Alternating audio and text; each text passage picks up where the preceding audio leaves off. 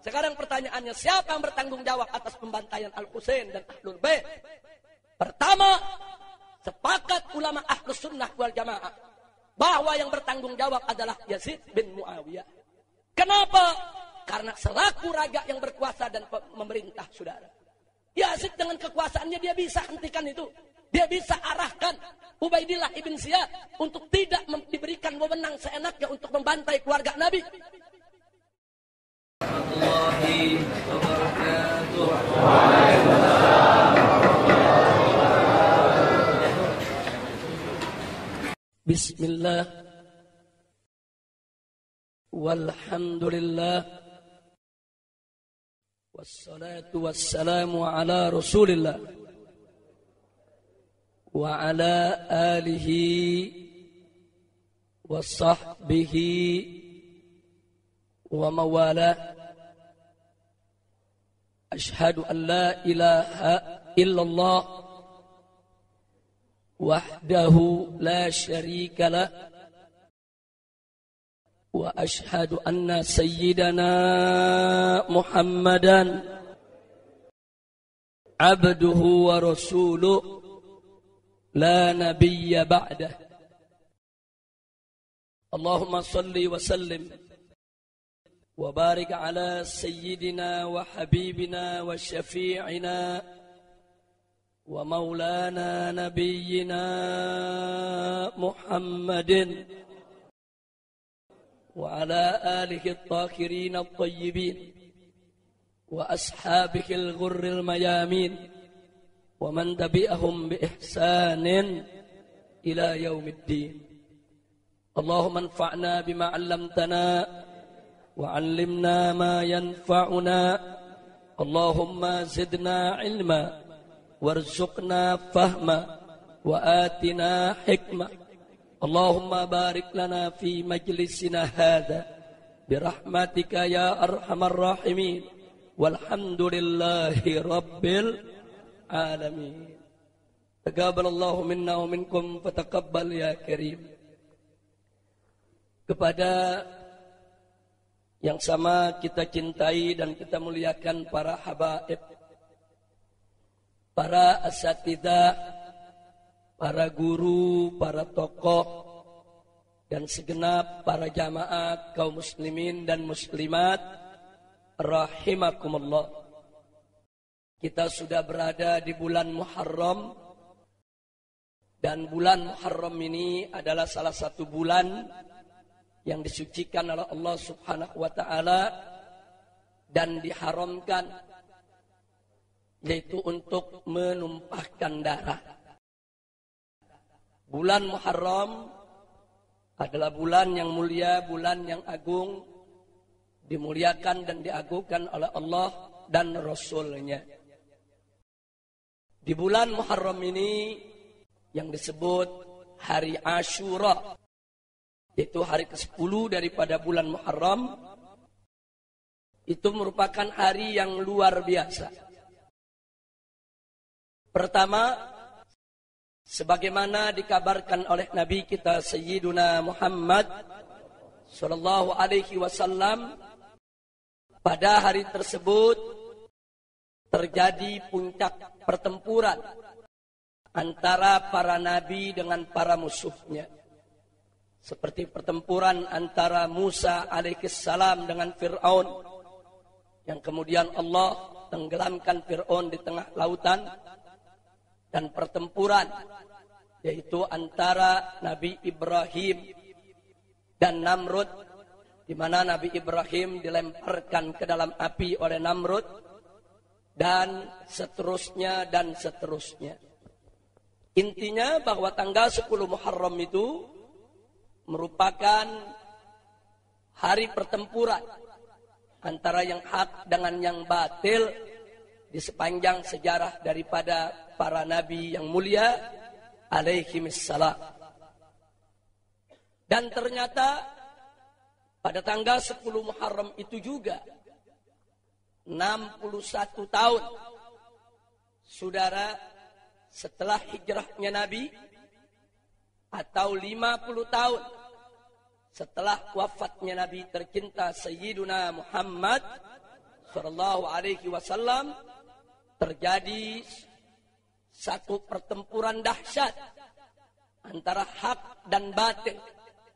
Terjadi pertempuran yang luar biasa karena ada sekelompok anak manusia dengan jumlah tidak seberapa tapi berani untuk melawan beribu-ribu pasukan hanya untuk menegakkan keadilan.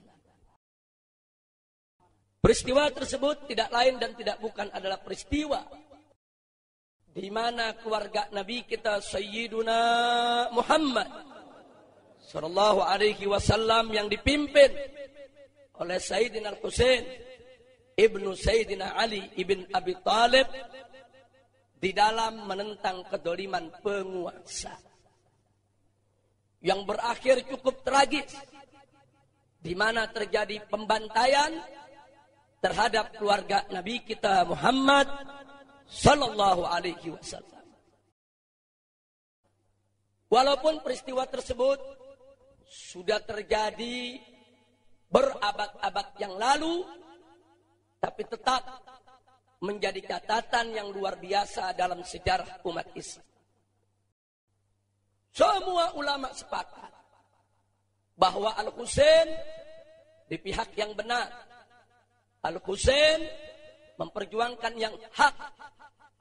Tapi masih ada saja segelintir orang yang berupaya memutarbalikkan fakta, mereka yasa argumentasi untuk menyudutkan dan menyalahkan Al-Husain dan keluarga kerabat serta sahabatnya yang dibantai di padang Karbala.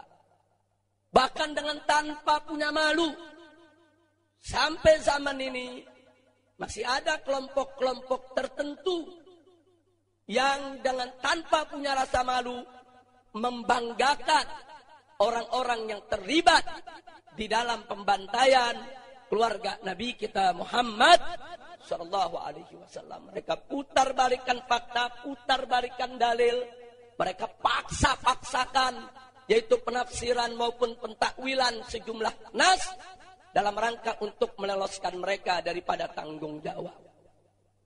Nah, karena itulah saya memandang perlu pada hari ini kita untuk mengkaji kembali peristiwa tersebut dengan merunut daripada sejarahnya secara tertib dan juga sekaligus menggali satu persatu apa yang ada di belakang itu semua supaya ke depan tidak ada lagi di antara kita yang salah paham karenanya. Insya Allah. Karena itu kepada seluruh hadirin dan hadirat yang hadir di majelis markas syariah ini maupun yang mendengarkan melalui radio Rasil maupun melalui radio yaitu streaming Front Pembela Islam baik di dalam maupun di luar negeri untuk bisa mengikuti dengan seksama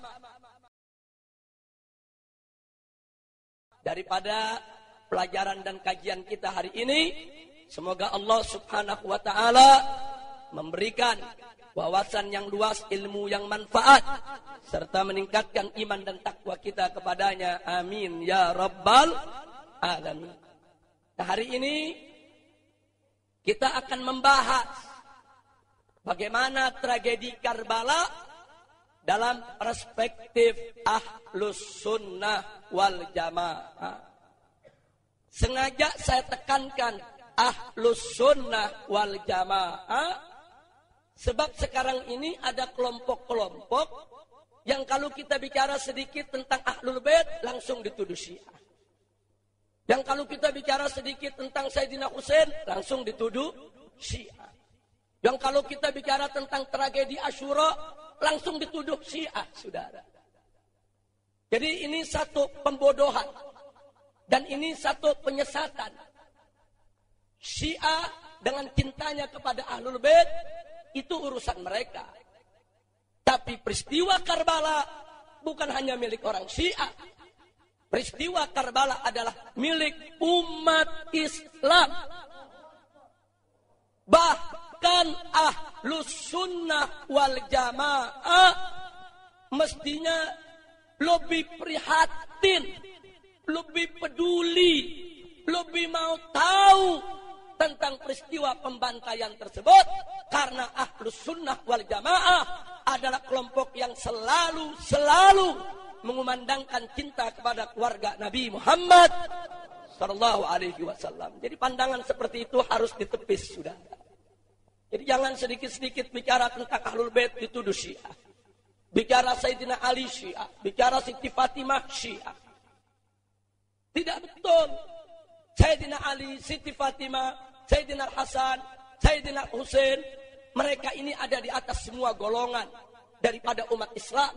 Mereka ini semua adalah rujukan baik bagi Sunni maupun Syiah, sudah. Nah, jadi jangan mengkerdilkan peran Ahlul Bait, jangan memarginalkan daripada kontribusi besar mereka di dalam membangun umat daripada nabi mereka dan nabi kita semua Sayyiduna Muhammad sallallahu alaihi wasallam. Karena itu hari ini kita mau tunjukkan bahwa Karbala juga milik kita umat Islam milik ahlus sunnah wal jamaah. Asyura juga milik ahlus sunnah wal jamaah. Al-Husain dan mereka yang berjuang berkorban di padang Karbala itu semua adalah milik ahlus sunnah wal jamaah bahkan milik seluruh umat Nabi Muhammad sallallahu alaihi wasallam. Nah, karena begitu banyaknya tuduhan-tuduhan seperti tadi, maaf, sampai-sampai banyak ulama ahlus sunnah sungkan, takut-takut, ragu-ragu kalau mau bicara tentang Karbala. Itu tadi, takut dituduh si A, khawatir dituduh si A, saudara. Nah ini nggak mesti terjadi. Kita mesti ingat apa yang pernah dikatakan oleh Imam Syafi'i radhiyallahu taala anhu ketika beliau dituduh sebagai seorang Rafidi, seorang Syiah garis keras, gara-gara beliau sering menunjukkan rasa cintanya kepada ahlul bait Nabi, baik dalam tulisannya, dalam syairnya, dalam sikap hidupnya. Lalu apa yang beliau katakan, saudara? Tegas beliau katakan dalam syairnya, "Laukana rafdan hubbu ali Muhammadin, falyas hadits takalani annani rafidi." Andai kata cinta kepada keluarga Muhammad itu disebut sebagai syiah yang keras, saudara, syiah rafidi, syiah yang berlebihan. Apa kata Imam Syafi'i? Falyas hadith takalani. Saksikanlah, hei jin dan manusia, aku adalah Rafidi. Jadi Imam Syafi'i nggak peduli dituduh syiah, dituduh Rafidi, mau dituduh sesat, mau dituduh kafir, nggak ada urusan.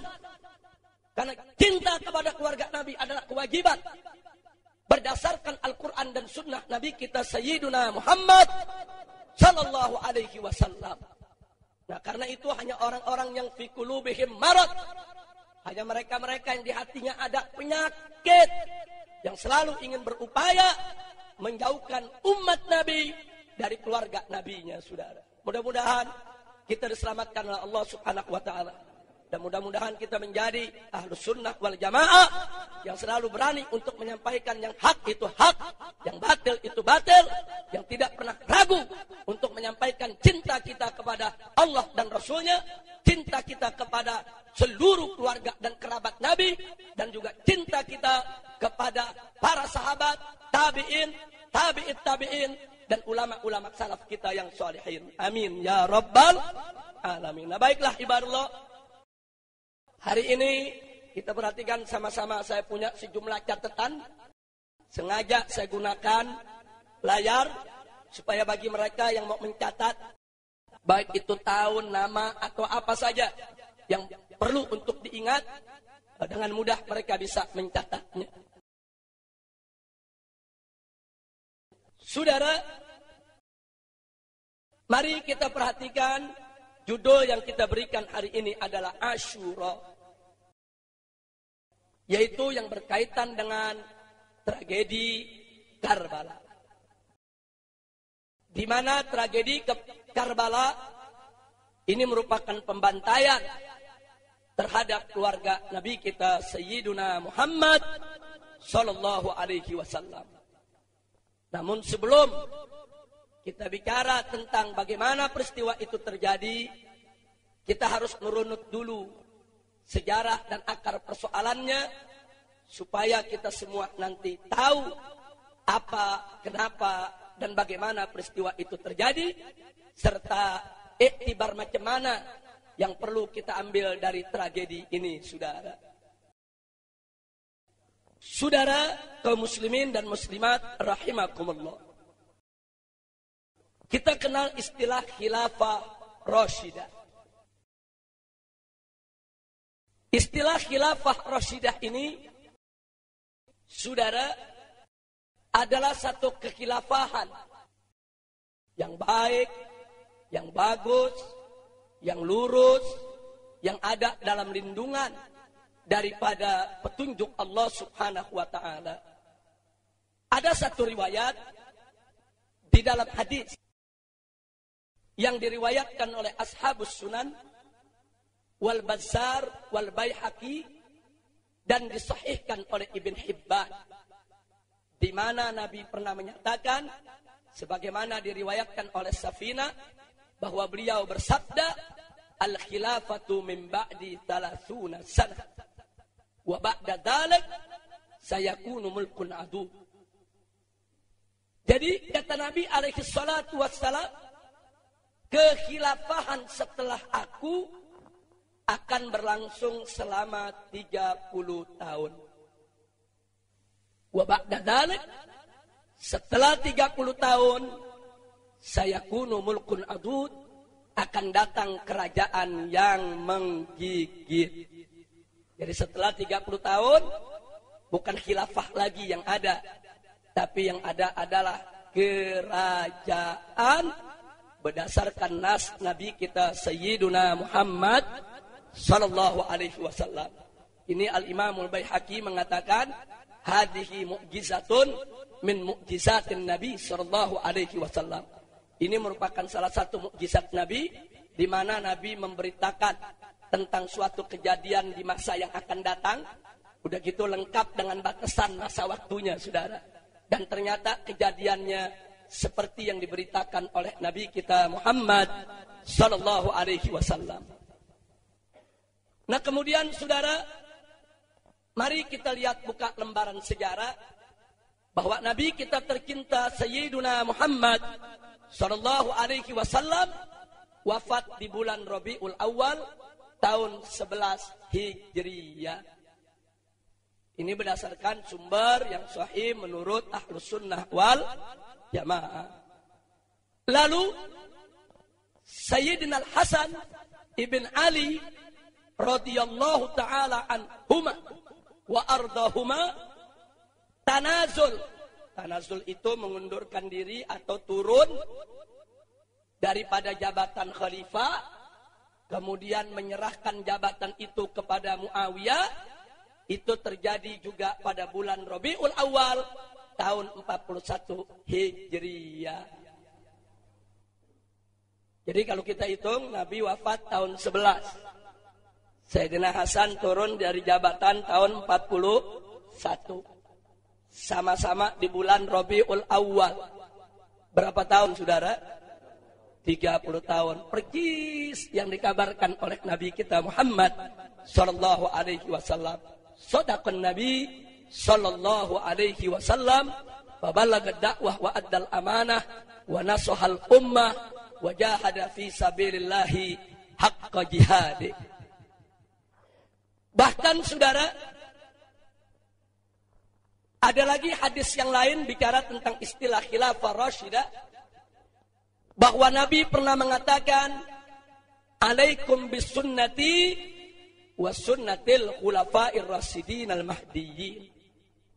Jadi wajib atas kamu sekalian untuk berpegang teguh kepada sunnahku dan sunnah para khulafa rasyidin.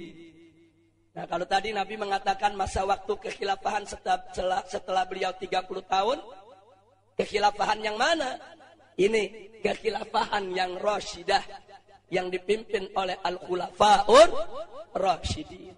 Hadis ini diriwayatkan oleh al-Imam Tirmidzi wa Abu Daud wa Ibn Majah wa Ahmad wa Hassanahu Abu Nuaim dan dihasankan hadis ini oleh Abu Nuaim Al-Asfahani rahimahullahu taala.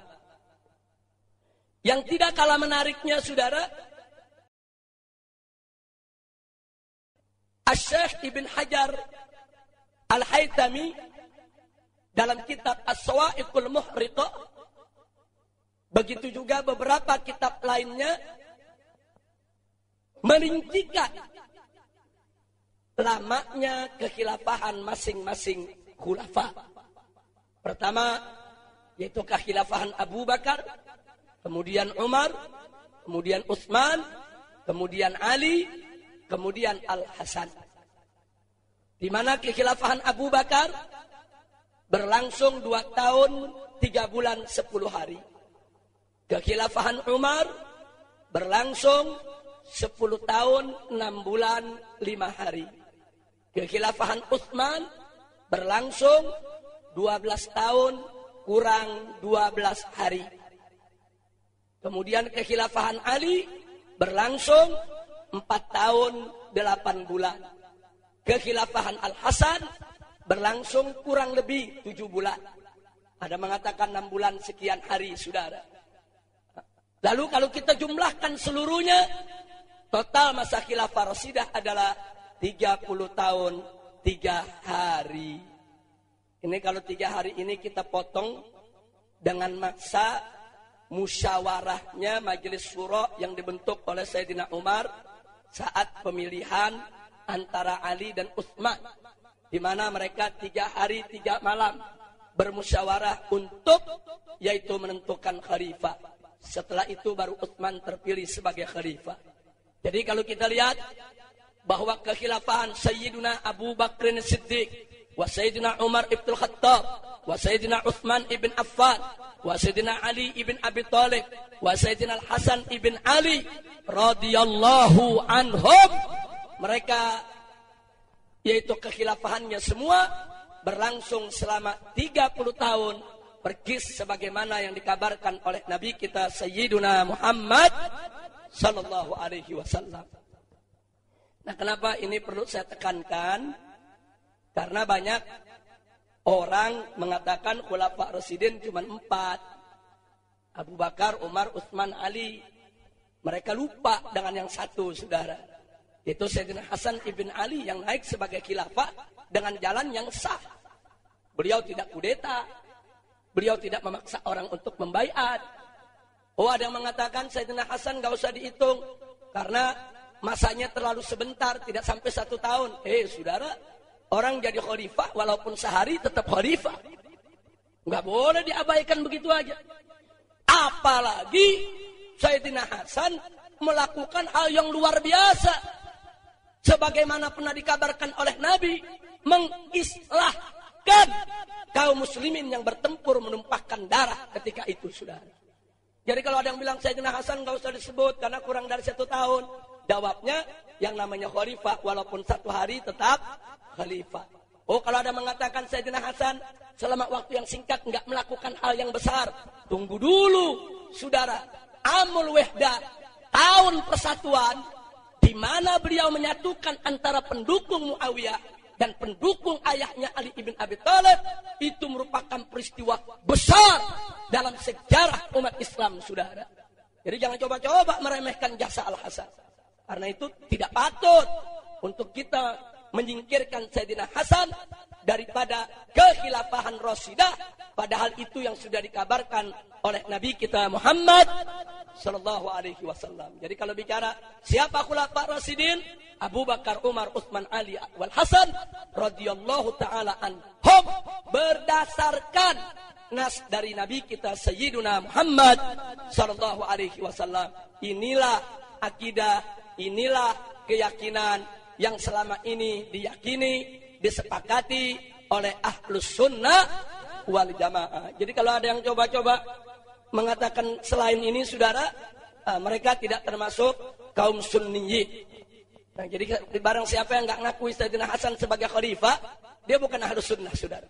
Dari mana dia datangnya ahlus sunnah?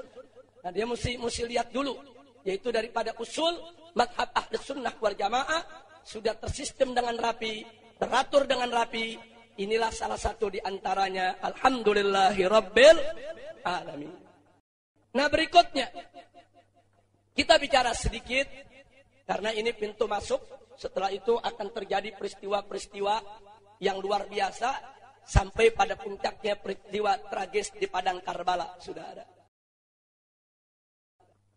tentang tanazul Khalifah Al Hasan radhiyallahu taala anhu.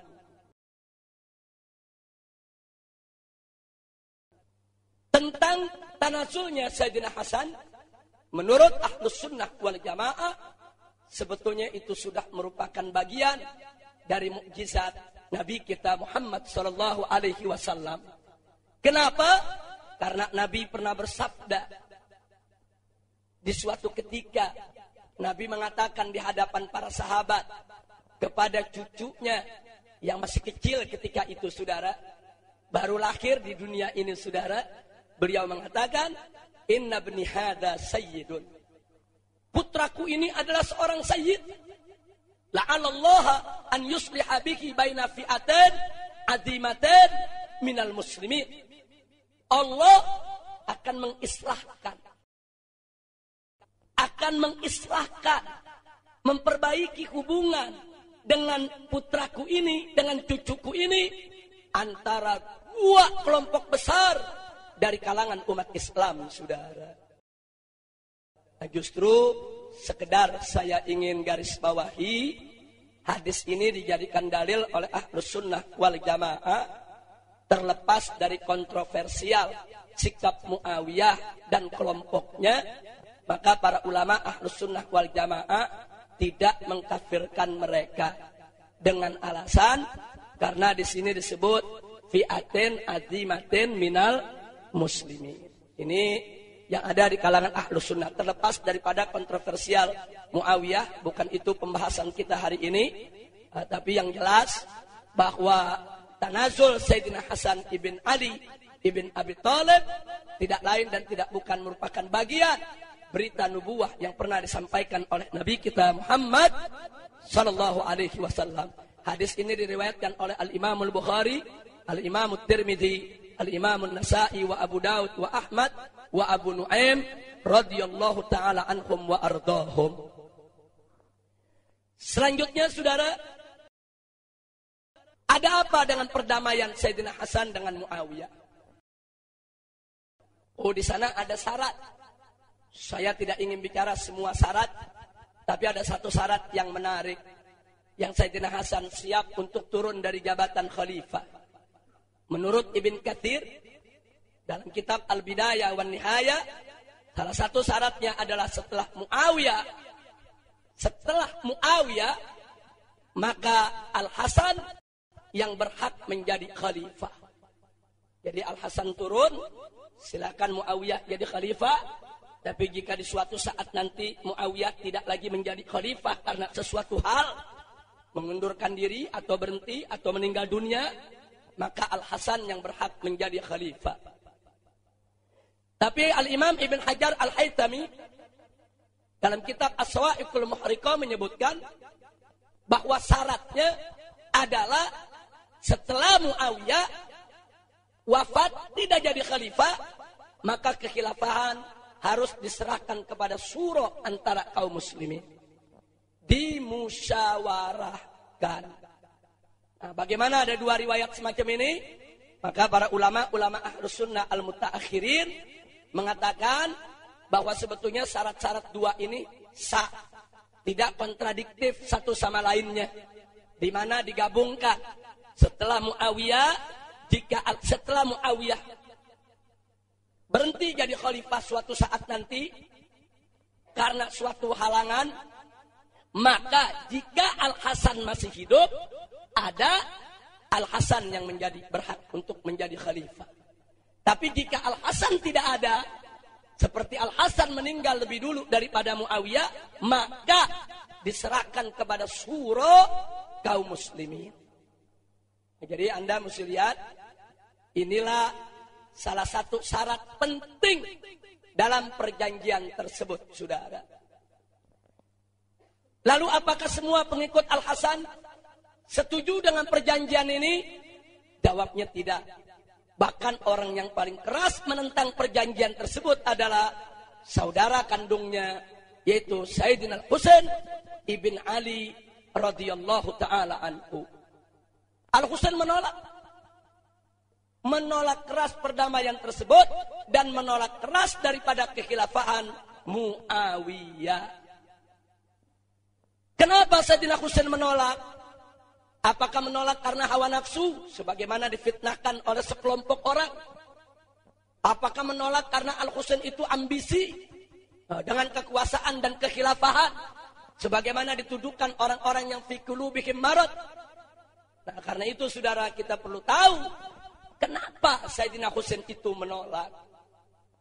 Al-Husain menolak Muawiyah karena beberapa alasan.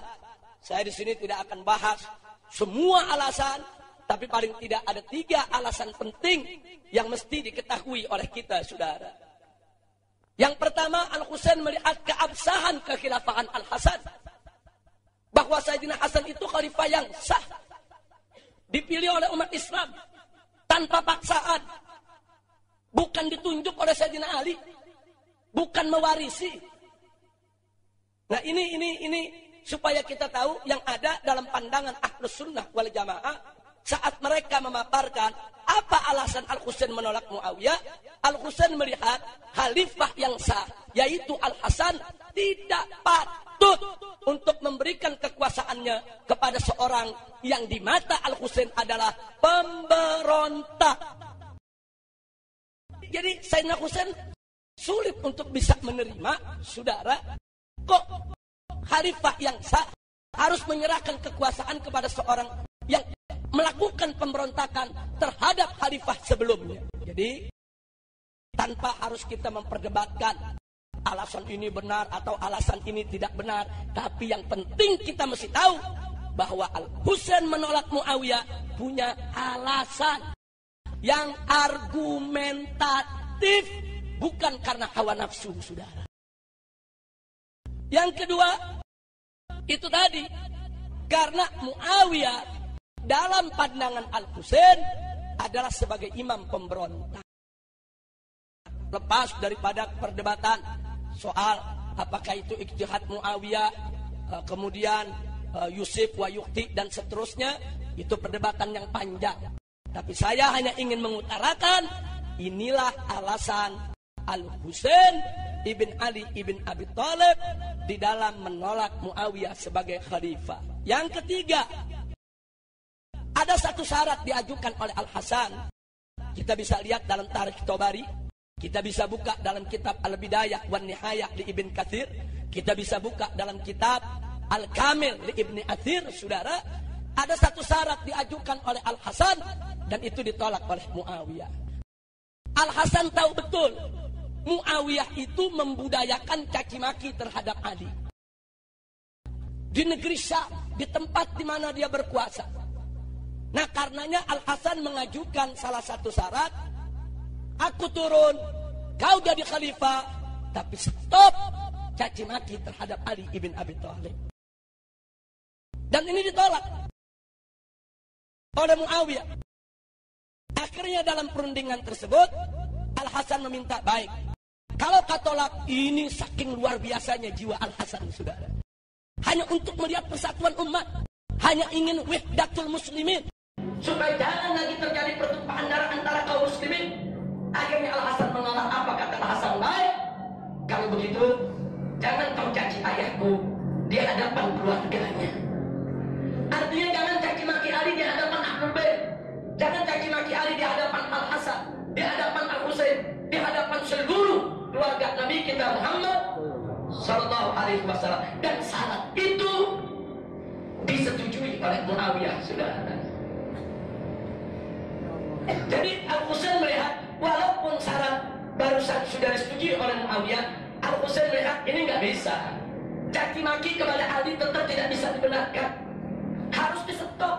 Jadi dalam pandangan Al Husain, pembudayaan caci maki Ali yang dilakukan oleh Muawiyah di negeri Syam itu merupakan sesuatu yang tidak layak, tidak pantas, tidak patut dan beliau menolak Muawiyah sebagai khalifah karena beliau khawatir Kalau belum jadi khalifah saja sudah memudayakan caci maki, bagaimana kalau nanti menjadi khalifah? Tidak ada jaminan. Nah inilah alasan Al-Husain menolak Muawiyah. Al-Husain sampaikan ini kepada Al-Hasan. Bukan tidak disampaikan. Al-Husain menyampaikan kepada Al-Hasan protesnya ini. Tapi apa jawab Al-Hasan?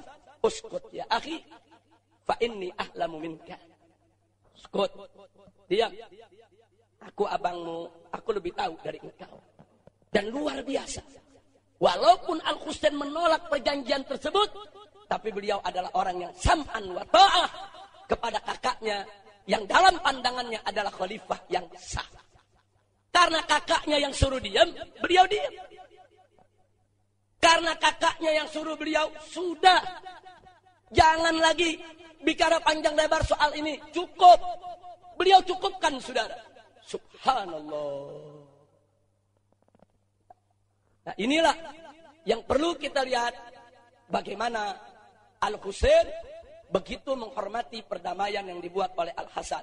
Dan tolong dicatat, selama 20 tahun Muawiyah berkuasa menggantikan Al-Hasan, tidak sekalipun Al-Husain mengangkat senjata untuk berontak, saudara. Subhanallah. Nggak ada.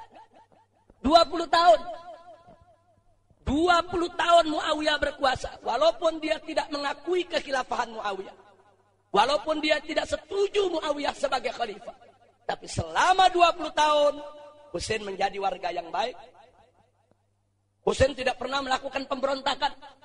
Al-Husain tidak pernah mengangkat senjata. Ini harus dicatat oleh sejarah.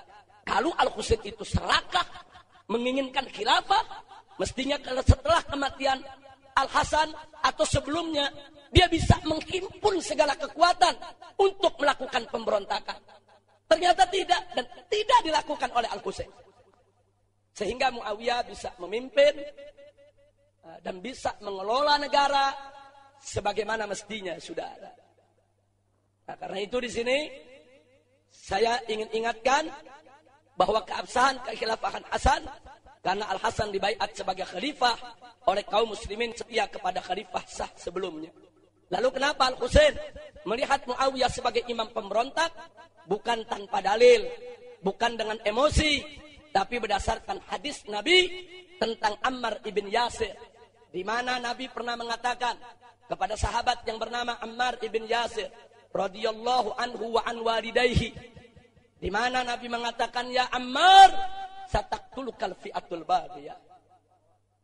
Hei Ammar, hei Ammar, nanti engkau akan dibunuh oleh siapa? Al-fi'atul bagia, oleh kelompok pemberontak, kelompok pembangkang. Ini hadis hadisun sahih. Bahkan ini hadis mutawatir di kalangan sahabat sudah. Nah di kemudian hari ketika terjadi pertikaian antara Sayyidina Ali dengan Muawiyah saudara, Ammar berada di pihak Ali. Dan kemudian akhirnya Ammar terbunuh oleh pasukan Muawiyah. Begitu Ammar terbunuh, seseorang menyampaikan kepada Muawiyah, "Ya Muawiyah, kita ini kelompok pemberontak. Kita ini fiatun bagiyah." Sebab Nabi mengatakan yang membunuh Ammar itu adalah fi'ah bagiyah, adalah pemberontak. Apa jawab daripada Muawiyah, Saudara? Beliau menjawab, yang membunuh, yang mengirimnya. Ini fakta dalam sejarah. Ahlus sunnah semua mengakui, saudara. Terlepas daripada perdebatan apakah itu iktihad, dengan keilmuannya, atau sekedar ingin lari dari tanggung jawab, sia-sia, itu soal perdebatan lain, saudara. Nah kemudian jawaban Muawiyah ini disampaikan ke Ali. Ya Ali, kata Muawiyah, yang membunuh Ammar itu yang ngirim. Berarti kau yang bunuh dia. Berarti kau yang fi'abagiyah.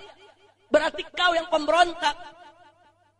Ali jawab menjawab santai, tenang dengan ilmu saudara. Apa kata Sayyidina Ali bin, Abi Thalib? Kalau memang Ammar itu yang membunuh, yang mengirimnya, maka yang membunuh Hamzah adalah Rasulullah. Karena Rasulullah yang ngirim Hamzah ke medan tempur. Enggak sampai di situ Sayyidina Ali mengatakan, Berarti yang membunuh syuhada Uhud, yang membunuh syuhada Badar, semuanya adalah nabi kalian Muhammad sallallahu alaihi wasallam. Oh, ini luar biasa Saudara. Ini jawaban menunjukkan kecerdasannya. Alhamdulillah. Nah, baik Saudara. Nah, kemudian soal pembudayaan caci maki tadi, Saudara Muawiyah menolak syarat tidak mencaci Ali. Nah, karena memang menolak, makanya Al-Husain menolak perdamaian tersebut. Al-Husain menganggap perdamaian itu bisa merugikan umat Islam. Tapi Sayyidina Hasan punya pandangan lain. Sayyidina Hasan juga seorang yang cerdas, seorang yang arif, seorang yang bijak. Apalagi Sayyidina Hasan sendiri merasakan uh, bagaimana orang-orang di sekitarnya yang mengkhianatinya, saudara. Mengelu-elukan Al-Hasan, siap berperang di samping Al-Hasan. Tapi ternyata akhirnya mereka juga yang menusuk daripada kaki Al-Hasan, saudara. Hendak membunuh beliau. Jadi saat itu memang kondisi luar biasa. Eh, kita tidak tidak memperdebatkan di sini Al-Hasan atau Al-Husain yang benar. Masing-masing benar pada posisinya, saudara. Radiyallahu anhuma wa an walidaihima. Amin. Ya Rabbal alamin. Nah baik. Kesimpulannya Al-Husain tidak percaya terhadap Muawiyah. Muawiyah sahabat, Al-Husain sahabat. Ini pertikaian yang terjadi di antara sahabat bukan ingin kita mengorek-ngorek apa yang ada di balik itu semua, tapi tujuan kita adalah kita ingin tahu kita ingin tahu sebetulnya apa dan bagaimana yang terjadi di balik tragedi Karbala supaya kita tidak salah paham. Kenapa Al Husain tidak percaya terhadap Muawiyah? Itu tadi alasan-alasannya. Dan akhirnya yang terjadi dalam sejarah ternyata ketidakpercayaan Al Husain terhadap Muawiyah terbukti di kemudian hari, saudara. Nah, mana bukti-buktinya? Pembunuhan terhadap sahabat Nabi yang dilakukan oleh Muawiyah. Kemudian pengangkatan putra mahkota Muawiyah mengangkat putranya sebagai penggantinya untuk menjadi khalifah. Di mana Muawiyah memberikan wasiat untuk Yazid. Nah, saudara pembunuhan para sahabat Nabi ini diceritakan dalam tarik Tobari, sejarah-sejarah ahlus sunnah wal jamaah, dan bagaimana pandangan para ulama. Pertama yang dibunuh, dibunuh adalah Hujur ibn Adi. Hujur ibn Adi ini sepakat para ulama ahlus sunnah adalah sahabat Nabi kita Muhammad sallallahu alaihi wasallam. Itu dibunuh melalui sidang yang langsung dipimpin oleh Muawiyah. Muawiyah yang pimpin sidangnya, Muawiyah yang tanyakan kepada seluruh para menteri yang ada di sekitarnya. Nah, Muawiyah menanyakan apa yang harus saya lakukan terhadap orang ini. Semua menyerahkan kepada Muawiyah, terserah mau diapakan, akhirnya dibunuh oleh Muawiyah. Nah, pembunuhan ini membuat membuat Siti Aisyah radhiyallahu taala anha marah besar kepada Muawiyah, Saudara. Sampai tatkala Muawiyah datang ke Madinah ingin berkunjung ke rumah Siti Aisyah, ditolak oleh Siti Aisyah. Siti Aisyah mengatakan, "Seenaknya kau membunuh Hujur ibn Adi? Seenaknya kau membunuh sahabat Nabi?" Ya, dalam beberapa riwayat Ahlus Sunnah wal Jamaah, akhirnya Muawiyah menyesali pembunuhan tersebut sampai akhir hayatnya.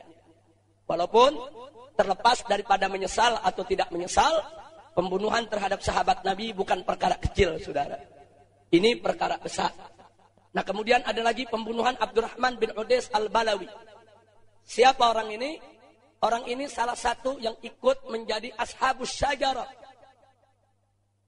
Ashabus syajarah. Ketika terjadi bayatul ridwan, saudara, yang Allah menyatakan radhiyallahu anil mu'minin alladzina yubayyi'unaka tahta syajarah. Allah berfirman dalam Al-Qur'an, Allah ridho kepada orang-orang yang beriman yang membaiat engkau ya Muhammad di bawah syajarah, di bawah pohon. Salah satunya adalah Abdurrahman ibn Udes, yaitu Balawi, saudara. Orang ini terlibat di dalam pemberontakan terhadap Utsman, kemudian ditangkap oleh Muawiyah, Kemudian Muawiyah mengir, eh, kemudian dia melarikan diri dari penjara, dikejar, ketangkap. Kemudian saudara Muawiyah memerintahkan beberapa orang-orangnya untuk membunuhnya. Dia dibawa ke gunung. Begitu dibawa ke gunung mau dibunuh, apa Abdurrahman mengatakan, "Hei, kau tahu siapa aku?" Aku ini termasuk ashabus syajara. Sahabat Nabi yang memberikan bayat kepada Nabi tahta syajara. Yang dijamin ridho oleh Allah. Apa jawab para algojo? Di gunung juga banyak syajara. Dibunuh sudah. Ini fakta. Dua persoalan ini menjadi masalah besar, saudara. Nah, kemudian pengangkatan putra mahkota.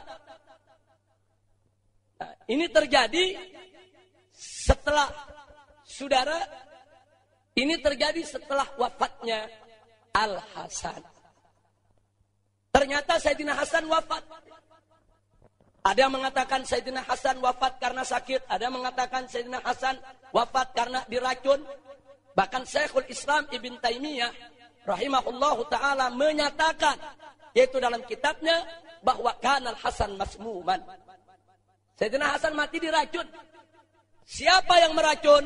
Menjadi pertanyaan sejarah. Sebagian saudara menuding kepada Muawiyah. Sebagian lagi mengatakan tidak ada petunjuk yang sah ke arah Muawiyah. Wallahu a'lam. Tapi pembunuhan terhadap Sayyidina Hasan ini memang menjadi pertanyaan sejarah luar biasa. Karena dengan wafatnya Al Hasan, maka uh, tidak ada lagi dalam perjanjian yang semestinya Al Hasan menjadi pengganti Muawiyah, maka pengganti itu sudah tidak ada, sudah ada. Nah ini yang memberi kesempatan kepada Muawiyah akhirnya mengumumkan pengangkatan putra mahkota waliul ahad yaitu Yazid putranya di mana Muawiyah meminta kepada umat Islam untuk membaiat anaknya. Nah kemudian saudara tidak sampai di situ. Ketidakpercayaan Al Husain terhadap Muawiyah ini terbukti antara lain Bagaimana wasiat untuk Yazid cara menangani tiga sahabat Nabi? Pertama, Muawiyah memberikan wasiat kepada putranya Yazid yang isi kandungan maknanya, Hei putraku Yazid, hati-hati kalau nanti kau memimpin, kau jadi khalifah, perhatikan tiga orang. Yang pertama, Abdullah ibn Umar ibn Khattab. Dia tidak akan kasih kau bayat. Tapi kau nggak usah khawatir. Dia sudah jadi ahli ibadah. Kalau semua orang membayatmu, dia bakal ikut bayat. Yang kedua, Al Husain ibn Ali. Hati-hati. Dia dari dulu tidak mengakui kita punya kekhalifahan. Kalau kekhalifahan Muawiyah aja nggak diakui, apalagi Yazid. Sudah, hati-hati. Kau jangan sembarangan untuk menanganinya. Kalau dia mengangkat senjata, kau lawan. Tapi ingat, kalau kau menang, kau maafkan dia. Jangan sampai kau bunuh.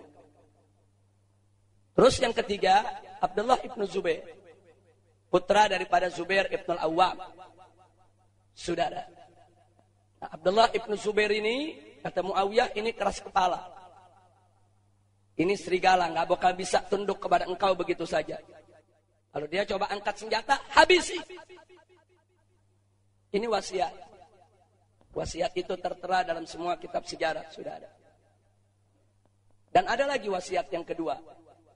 Kalau penduduk Madinah suatu saat menarik bayatnya dari engkau, jadi Muawiyah sudah bisa memprediksi, saudara, ini daerah mana aja nih yang akan terjadi gejolak, sudah ada.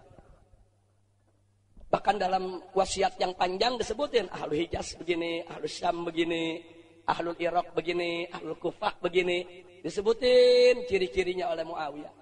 Artinya Muawiyah memang tidak bisa dipungkiri uh, dia itu kalau dalam soal strategi macam itu cerdas, menguasai, uh, pandai strategi dan dia tahu medan, sangat berpengalaman. Nah, wasiat yang kedua, kalau ahli Madinah itu berontak, maka lepas saja kepada mereka Uqbah ibn Muslim. Ini Uqbah ibn Muslim ini ganasnya orang, saudara. Dan ternyata itu dilakukan oleh Yazid di kemudian hari. Inilah yang membuat Al-Husain, saudara, makin tidak mempercayai Muawiyah. Tapi sungguh pun begitu, tolong sekali lagi dicatat, Al-Husain selama 20 tahun tidak berontak terhadap Muawiyah. Kenapa? bukan beliau sam'an wa ta'ah li Muawiyah, tapi beliau sam'an wa ta'ah li akhihi al-Khalifah Hasan ibn Ali ibn Abi Thalib. Karena beliau tahu betul Khalifah Hasan seorang pemimpin yang baik, beriman, bertakwa, dan beliau sudah berikan bayat, beliau setia, beliau disuruh diam, beliau diam, saudara. 20 tahun. 20 tahun itu bukan masa yang pendek, saudara. Tidak protes, tidak berontak, tidak melakukan kegiatan-kegiatan uh, politik, saudara, yang mengganggu daripada pemerintahan Muawiyah. Inilah Al-Husain. Baik. Sekarang apa alasan Muawiyah mengangkat Yazid? Sebagaimana disampaikan oleh kalangan ulama-ulama kita. Ya, Muawiyah juga punya alasan. Terlepas daripada alasan itu kuat atau lemah, alasan itu uh, naif atau tidak, itu urusan lain, saudara. Tapi yang jelas Muawiyah pun punya alasan. Alasan yang pertama, Muawiyah menilai Yazid layak jadi khalifah.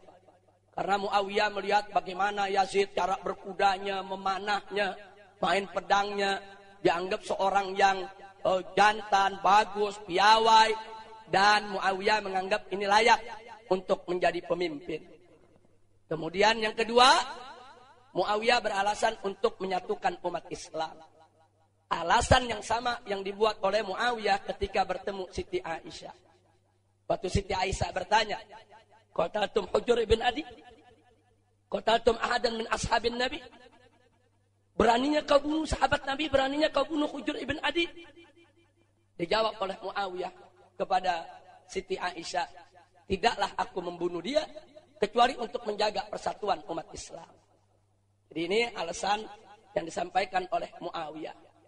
Nah, jadi kenapa Muawiyah mengangkat Yazid? Muawiyah nggak mau. Kalau nanti Muawiyah meninggal, Nah, tahu-tahu umat Islam bentrok, gontok-gontokan, berebut kekuasaan.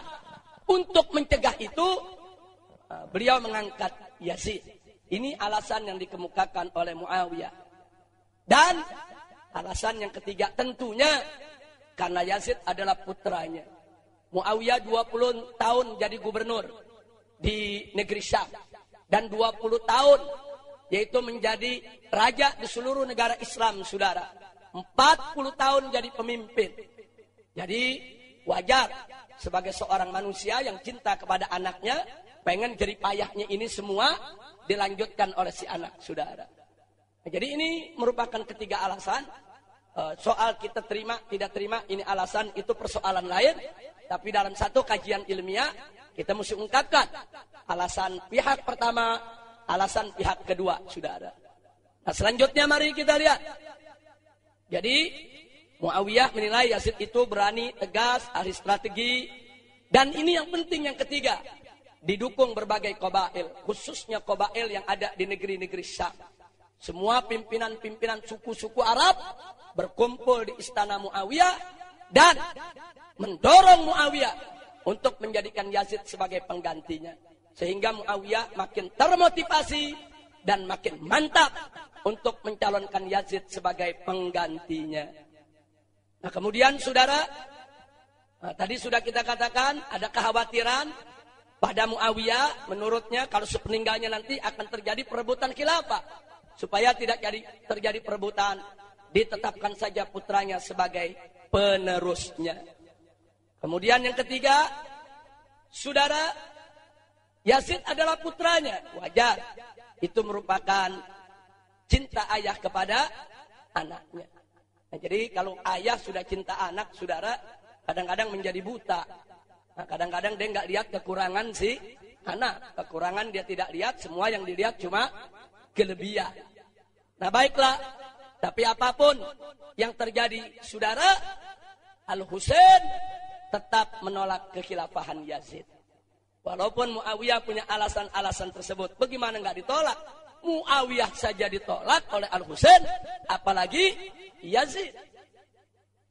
Saudara, kalau Muawiyah di dalam riwayat-riwayat Ahlus Sunnah nggak didapatkan riwayat dia mabuk, dia main judi, dia main perempuan, tidak ada. Tapi kalau Yazid ini ma'ruf terkenal suka judi. Saudara, suka menenggak minuman keras. Beda. Nah kalau Muawiyah saja yang jauh, jauh, jauh lebih baik daripada Yazid. Ditolak oleh Al-Husain. Apalagi Yazid dengan segudang yaitu daripada perbuatannya yang tidak populer dan itu diketahui oleh para ulama satu negeri sudah ada. Nah, karena itu nanti di akhir pelajaran kita kita lihat pandangan para ulama. Bagaimana pandangan Imam Ahmad, bagaimana pandangan Imam Suyuti, bagaimana pandangan Ibnul Jauzi, bagaimana pandangan ulama-ulama besar lainnya terhadap Yazid sudah ada. Baik. Sekarang alasan Al-Husain menolak Yazid. Satu, khilafah harus dengan syuro sesuai perjanjian. Perjanjian kan syuro. Kenapa mesti dikasihkan ke anak? Al-Husain tolak, saudara. Yang kedua, menurut Al-Husain Yazid tidak berhak. Tidak berhak karena apa? Ya itu tadi. Karena berbagai macam perilaku. Nah kemudian yang ketiga, kefasikan dan kezoliman Yazid itu dijadikan alasan oleh Al Husain untuk menolak Yazid. Jadi seorang Al Husain nggak mungkin mau dipimpin sama orang yang fasik dan dolim.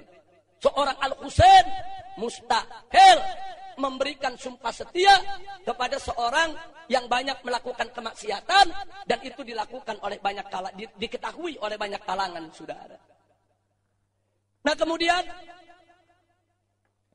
dalam pandangan Al Husain Khilafah bukan warisan yang harus diwariskan kepada anak. Tapi sesuai dengan firman Allah, wa amruhum syura bainahum. Yang kedua, Saudara, di zaman akhir daripada kekhilafahan Muawiyah masih banyak sahabat-sahabat Nabi yang hidup dan jauh lebih baik serta lebih berhak daripada Yazid. Kenapa tidak mereka yang diangkat oleh Muawiyah? Di sana ada Abdullah ibn Abbas, di sana ada Abdullah ibn Zubair, di sana ada Husain ibn Ali, di sana ada masih yang lainnya saudara. Nah kemudian kepasikan dan kezaliman Yazid mulai dari perilaku hingga upaya makar terhadap ahlul bait dan sahabat. Dimaksud upaya makar di sini setelah Yazid menggantikan ayahnya, ayahnya meninggal dunia. Yang pertama kali dilakukan oleh Yazid, Yazid menulis surat kepada Al-Walid ibn Utbah ibn Abi Sufyan yang saat itu menjadi gubernur kota Madinah karena Sayyidina Husain tinggal di Madinah yang isinya mengabarkan kematian Muawiyah dan memberitahukan bahwa Yazid sudah menjadi uh, kepala negara. Nah, kemudian memerintahkan yaitu kepada gubernur Madinah tersebut untuk mengambil bayat penduduk Madinah dan mengambil bayat tiga orang yang diwasiatkan ayahnya, saudara. Abdullah ibn Umar, putra Sayyidina Umar ibn Khattab, Abdullah ibn Zubair, dan Al-Husain ibn Ali. Nah, jadi dengan cara apa pun.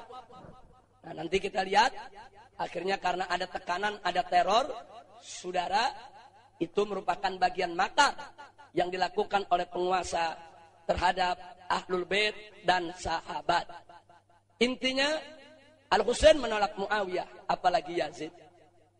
Dan karena tekanan-tekanan tadi, akhirnya Al Husain hijrah dari Madinah ke Mekah karena makar Yazid. Jadi perlu anda ketahui, begitu dapat surat gubernur Madinah, Al Walid, saudara, memanggil Sayyidina Husain untuk datang ke rumahnya. Kemudian Sayyidina Husain datang menyiapkan para sahabatnya. Sampai di rumah gubernur, Sayyidina Husain pesan. Kalau nanti kalian lihat aku memberikan isyarat, kalau mereka mau berbuat macam-macam kepadaku, kalian masuk semua. Atau kalau kalian lihat di dalam ada terjadi hal-hal uh, yang memang uh, harus kita tindak, kalian masuk semua. Tapi kalau sebelum ada isyarat atau apa pun, kalian jangan masuk. Kemudian masuk ke Sayyidina Hussein, bertemu dengan gubernur, di sampingnya ada Marwan Ibn Hakam. Nah, di situ disampaikan oleh Al-Walid, gubernur, bahwa Muawiyah sudah wafat, bahwa putranya menggantikannya. Dan gubernur minta supaya Al-Husain memberikan bayat. Sayyidina Husain mengatakan, Ya Walid, orang seperti aku ini tidak pantas memberikan bayat secara sembunyi-sembunyi. Jadi kalau kau ingin bayat dariku, kita lakukan di tempat terbuka. Al-Walid ini saudara, dia mendengar daripada apa pernyataan Husain tadi, dia setuju. Yang dia paham seolah-olah oh Sayyidina Husain ingin memberikan bayat di tempat yang terbuka. Tapi Marwan Ibn Hakam langsung membisikkannya, ya Walid, mumpung ada kesempatan, jangan kasih dia keluar. Jangan kasih dia pulang sebelum dia bayat. Kalau dia menolak, bunuh. Ini pesan Marwan, saudara. Husain dengar. Sayyidina Husain lompat. Dia tunjuk Marwan. Siapa yang membunuh aku? Kau atau dia? Jadi Sayyidina Husain bukan orang penakut, saudara. Akhirnya Al-Warid mengatakan kepada Marwan, Waihak, celaka kau Marwan. Engkau suruh aku membunuh cucunya Rasulullah, kesayangannya Rasulullah. Wallah, tidak akan pernah aku melakukan. Nah, jadi supaya ini uh, Al-Walid, uh, ini cucu daripada Abu Sufyan, artinya sepupu daripada Yazid. Tapi nggak mau dia melakukan itu sudah. Akhirnya dia biarkan Sayyidina Husain keluar dari ruangan tersebut, pulang ke rumah, mengasih kabar keluarga, suasana sudah tidak bagus, akhirnya mereka semua hijrah ke Mekah. Begitu juga Abdullah ibnu Zubair. Begitu Abdullah ibnu Zubair mendengar peristiwa yang terjadi terhadap Husain, Abdullah ibnu Zubair nggak mau dipanggil. Segera dia siapkan dirinya, keluarganya. Dia lebih dulu hijrah satu malam daripada Husain. Jadi Abdullah ibnu Zubair hijrah dan Sayyidina Husain juga hijrah menuju Mekah, saudara. Nah, ini menjadi catatan sejarah. Artinya tekanan itu ada. Nggak bisa kita tutup-tutupi. Itu makar. Mau membunuh Husain, memaksa Husain. Saudara, padahal tidak ada wasiat dari Muawiyah seperti itu kepada Yazid. Ya, Muawiyah suruh minta. Itu bayatnya. Kalau dia nggak berontak, jangan disentuh. Kalau dia berontak, baru ditindak. Kalau sudah ditindak Husain kalah, maafkan. Khusus untuk Husain. Beda dengan Abdullah ibnu Zubair. Kalau dia melawan, bunuh. Nah, tapi yang terjadi kan di lapangan berbeda, saudara. Jadi jangan kaget. Karena Yazid ini jadi khalifah umur baru 29 tahun. Masih sangat muda, saudara. Belum pengalaman, emosional. Jadi jangan kaget kalau cerita-cerita seputar dirinya banyak diselimuti dengan duniawiyah.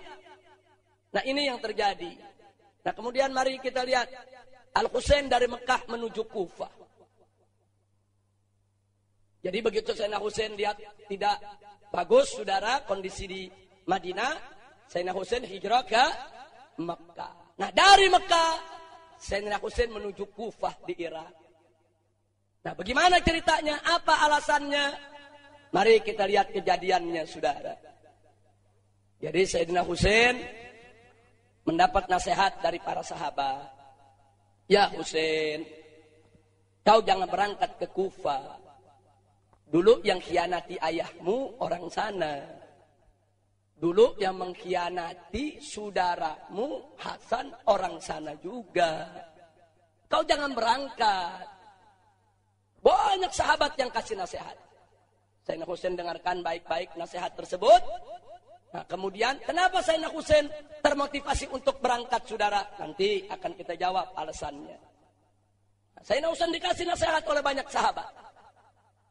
Nah, kemudian Sayyidina Husain dapat surat dari tokoh-tokoh Kufa, kepala-kepala Kobael, yang nanti dalam peristiwa tragedi Karbala mereka ikut ngepung Sayyidina Husain, Sayyidina Husain sebutin satu-satu namanya, saudara.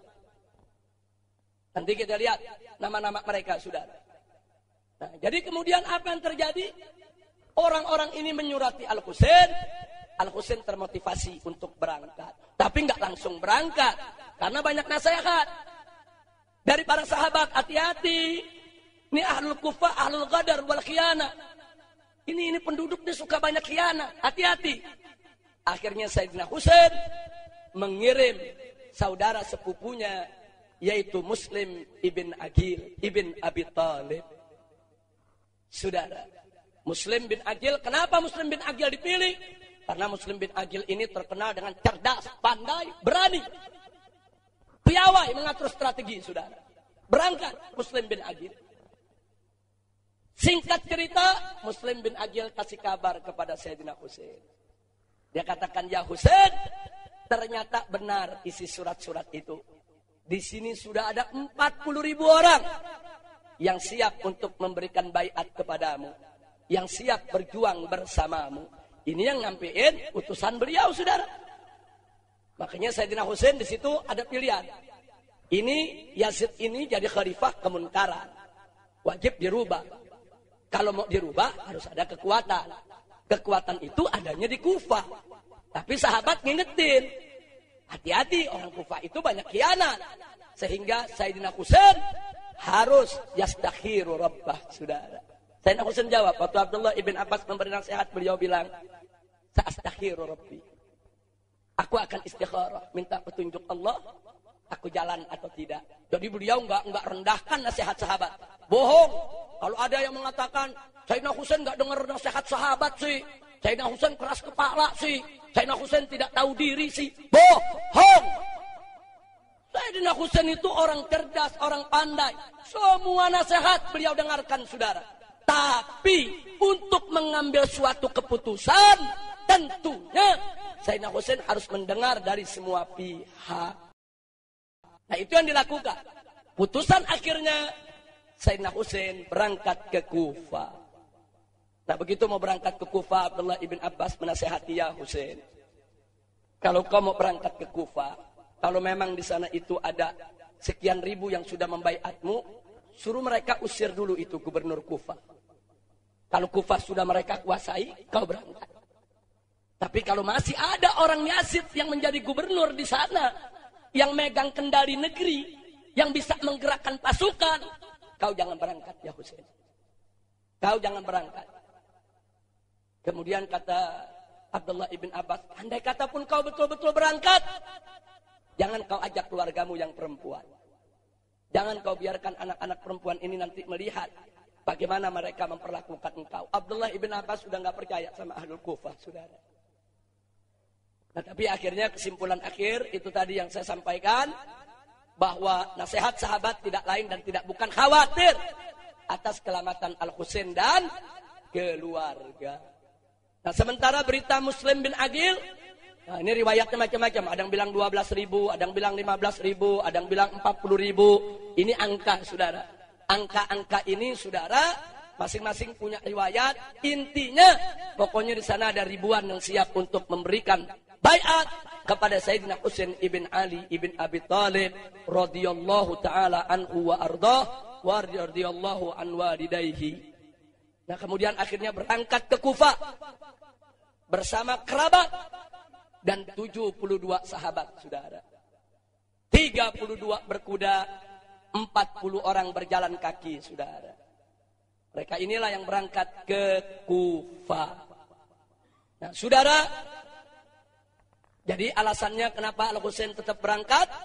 Karena Al-Husain menerima dukungan dari ahli Kufa yang kemudian dikuatkan oleh berita dari Muslim bin Agil bin Abi Talib, saudara. Beliau berangkat. Nah sekarang yang jadi pertanyaannya, saudara, Sayyidina Husain udah dikasih nasihat, kenapa tetap berangkat? Jadi ada orang-orang yang fikulu bikin marat, saudara, langsung nuduh.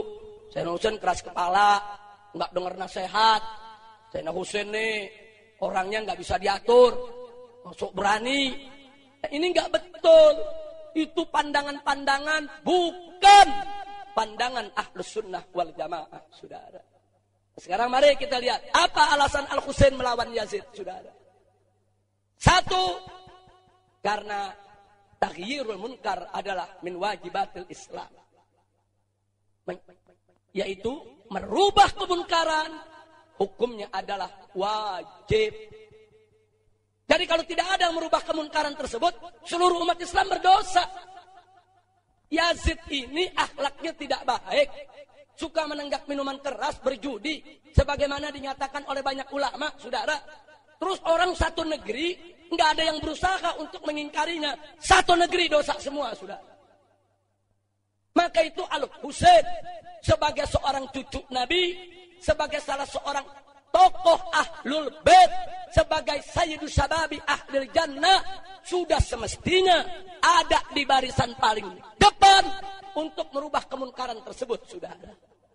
Nah kalau keluarga Nabi udah nggak mau merubah, bagaimana yang di luar keluarga Nabi mau merubah, saudara? Keluarga Nabi yang harus menjadi kudua, menjadi uswa. Jadi nahi munkar adalah wajib. Tapi Sayyidina Husain juga tahu diri. Nahi munkar untuk merubah khalifah yang rusak ini mesti ada kekuatan. Mana bisa Sayyidina Husain mau merubah sendirian, saudara? Beliau bukan orang bodoh, beliau bukan orang yang dengan mudah menyerahkan diri untuk dibunuh. Karena itu beliau ingin tegakkan untuk melakukan nahi munkar dan beliau sadar betul mesti ada kekuatan. Nah, kekuatan itu beliau dapatkan dari Kufah, saudara. Dari mana beliau tahu? Surat-surat tadi. Muslim bin Agil yang kasih kabar, saudara. Melalui investigasi. Enggak salah. Kalau Sayyidina Husain kemudian melihat, aku harus berangkat. Bukan Sayyidina Husain keras kepala kepada para sahabat. Sayyidina Hussein, saudara, melihat tidak ada alasan bagi dirinya untuk lari dari tanggung jawab menegakkan amar ma'ruf nahi munkar. Nah, ini yang mesti kita kita pahami, saudara. Melawan ketidakadilan, melawan kesewenangan, melawan kedaliman, melawan kemunkaran adalah kewajiban atas setiap umat Islam, apalagi atas keluarga Nabi kita Muhammad sallallahu alaihi wasallam. Karena itu saudara, Sayyidina Husain harus mencari kekuatan. Tidak boleh pasrah kepada kemunkaran. Harus proaktif menyusun kekuatan, saudara. Ternyata kekuatan itu beliau dapatkan dari Kufa. Berdasarkan apa? Adanya surat dari para tokoh Kufa dan informasi dari Muslim bin Agil. Nah, dari sinilah saudara akhirnya Al-Husain melihat kekuatan nahi munkar ada di Kufa. Bukan di Madinah, bukan di Mekah ketika itu, saudara. Nah kemudian, akhirnya apa setelah melihat kekuatan ada di sana? Al-Husain melihat tidak ada alasan untuk tinggalkan nahi munkar. Jadi bukan beliau beliau nggak dengar nasihat, bukan. Kalau beliau di Mekah, terus yang nahi munkar siapa? Kalau beliau di Mekah, apa alasan beliau meninggalkan nahi munkar? Mungkin yang lain punya alasan meninggalkan nahi munkar. Karena tidak punya dukungan sekuat Husain di Kufah. Mungkin Abdullah ibn Abbas punya alasan untuk tidak nahi munkar ketika itu. Karena posisinya tidak memiliki dukungan sebesar Husain. Tapi Husain dengan dukungan sebesar itu, saudara. Tidak ada alasan untuk lari dari kewajiban. Ini cerdasnya Sayyidina Husain. Ini fikih Sayyidina Husain. Inilah bagaimana beliau memahami nas-nas kewajiban agama, saudara. Nah, karenanya beliau memutuskan harus berangkat ke Kufa. Nah, jadi sengaja alasan Muawiyah, alasan Yazid, alasan Al Husain, alasan semua sengaja saya paparkan saudara. Supaya kita dapat semua data fakta walaupun tentunya saya tidak bisa memberikan uh, fakta sebanyak-banyaknya karena kajian kita kajian yang terbatas sekali saudara. Tapi paling tidak ini sudah bisa memberikan gambaran kepada kita tentang apa dan bagaimana Sayyidina Husain ibn Ali radhiyallahu anhu. Nah, sekarang mari kita lihat langkah Yazid bin Muawiyah menghadapi Al-Husain. Karena Al-Husain berangkat ke Kufa, Yazid dengar itu berita, maka Yazid mengambil langkah, saudara. Pertama, menteror Al-Husain di Al-Haramain. Jadi sebelum Al-Husain itu berangkat ke Kufa, sudah diteror, saudara. Sampai Yazid dengar waktu di Mekah banyak surat datang, Husain belum keluar dari Mekah. Makin diteror, saudara. Sampai-sampai Abdullah ibn Abbas pernah datang kepada Al-Husain. Ya Husain, apa perlu aku minta jaminan dari gubernur? Kita datangi dia. Supaya kau dengan keluarga di Mekah ini tidak diganggu lagi, tidak disentuh lagi, tidak dipaksa lagi untuk bayar. Sampai-sampai Abdullah ibn Abbas datang yaitu ke Amr ibn Sa'id ibn As, gubernur Mekah, minta surat jaminan. Kalau gubernur tidak akan mengganggu Al-Husain. Yang penting Abdullah ibn Abbas pengen Al-Husain jangan keluar. Dan surat itu diberikan, saudara. Tapi ini persoalannya bukan di Mekah itu aman tidak aman. Persoalannya adalah saudara Sayyidina Husain wajib nahi munkar dengan kekuatan. Kekuatan itu adanya di Nah kemudian apa yang kedua? Begitu mendengar kedatangan Husain menuju Kufa, saat itu ada seorang sahabat dari kalangan Ansor yang menjadi gubernur Kufa. Namanya An-Nu'man ibn Bashir Al-Ansori. Nah, dia berupaya untuk menenangkan masyarakat. Dia berupaya untuk menyatukan masyarakat. Tapi sikapnya dinilai oleh Yazid terlalu lemah. Yazid menginginkan seorang gubernur yang tegas, keras untuk menolak kedatangan Hussein. Makanya An-Nu'man ibn Bashir diberhentikan dari jabatan gubernur, saudara. Saat itu ada gubernur Basra, namanya Ubaidillah ibn Ziyad. Ubaidillah ibn Ziyad ini terkenal orangnya keras. Saudara, keras, ganas, tanpa kompromi. Akhirnya Kufah diberikan oleh Yazid ke Ubaidillah ibn Ziyad. Ubaidillah ibn Ziyad menjadi gubernur untuk Basrah dan Kufah, saudara. Digabung untuk apa? Untuk menghadapi kedatangan Husain. Dan yang ketiga, Yazid memberikan wewenang kemenuh kepada Ubaidillah ibn Ziyad. Penuh. Pokoknya kerjakan aja bagaimana caranya. Supaya penduduk-penduduk di Irak ini, di Kufah ini semua memberikan bayat kepada Yazid dan tidak memberikan jalan untuk Husain menyusun kekuatan di sana. Ini langkah-langkahnya, saudara. Nah, karena itu bagaimana Al Husain diteror melalui Gubernur Al Walid bin Utbah bin Abi Sufyan, Gubernur Madinah, Gubernur Mekah Amr ibn Sa'ad ibn As, bagaimana digabungkan oleh Yazid mengganti Gubernur Kufah An-Nu'man bin Bashir Al-Ansari, mengangkat Ubaidillah ibn Ziyad sebagai Gubernur Kufah dan Basra. Nah kemudian tidak sampai di situ saudara. Akhirnya apa yang dilakukan Ubaidillah ibn Ziyad. Sekarang kita kita Ubaidillah ibn Ziyad. Jadi bukan Yazid lagi. Karena Ubaidillah ibn Ziyad sudah dapat wewenang penuh saudara. Ubaidillah ibn Ziyad mengumpulkan seluruh kepala-kepala kabilah. Yang nulis surat buat Husain, saudara. Untuk Husain datang. Semua dibujuk, dirayu, diberikan harta. Diberikan berbagai macam fasilitas. Untuk apa? Untuk menarik kaumnya. Jangan mendukung Hussein, saudara. Saat itu, kaumnya itu, saudara, di Kufa itu, sebagaimana kita tahu, ada Muslim bin Agil. Menyusun kekuatan. Menyambut kedatangan Al-Husain. Muslim bin Agil sedang menyusun kekuatan. Kekuatannya sudah puluhan ribu. Nah, akhirnya Ubaidillah ibn Ziyad bayar tokoh-tokoh tersebut tokoh-tokoh tersebut menarik kaumnya dari Muslim bin Agil, saudara.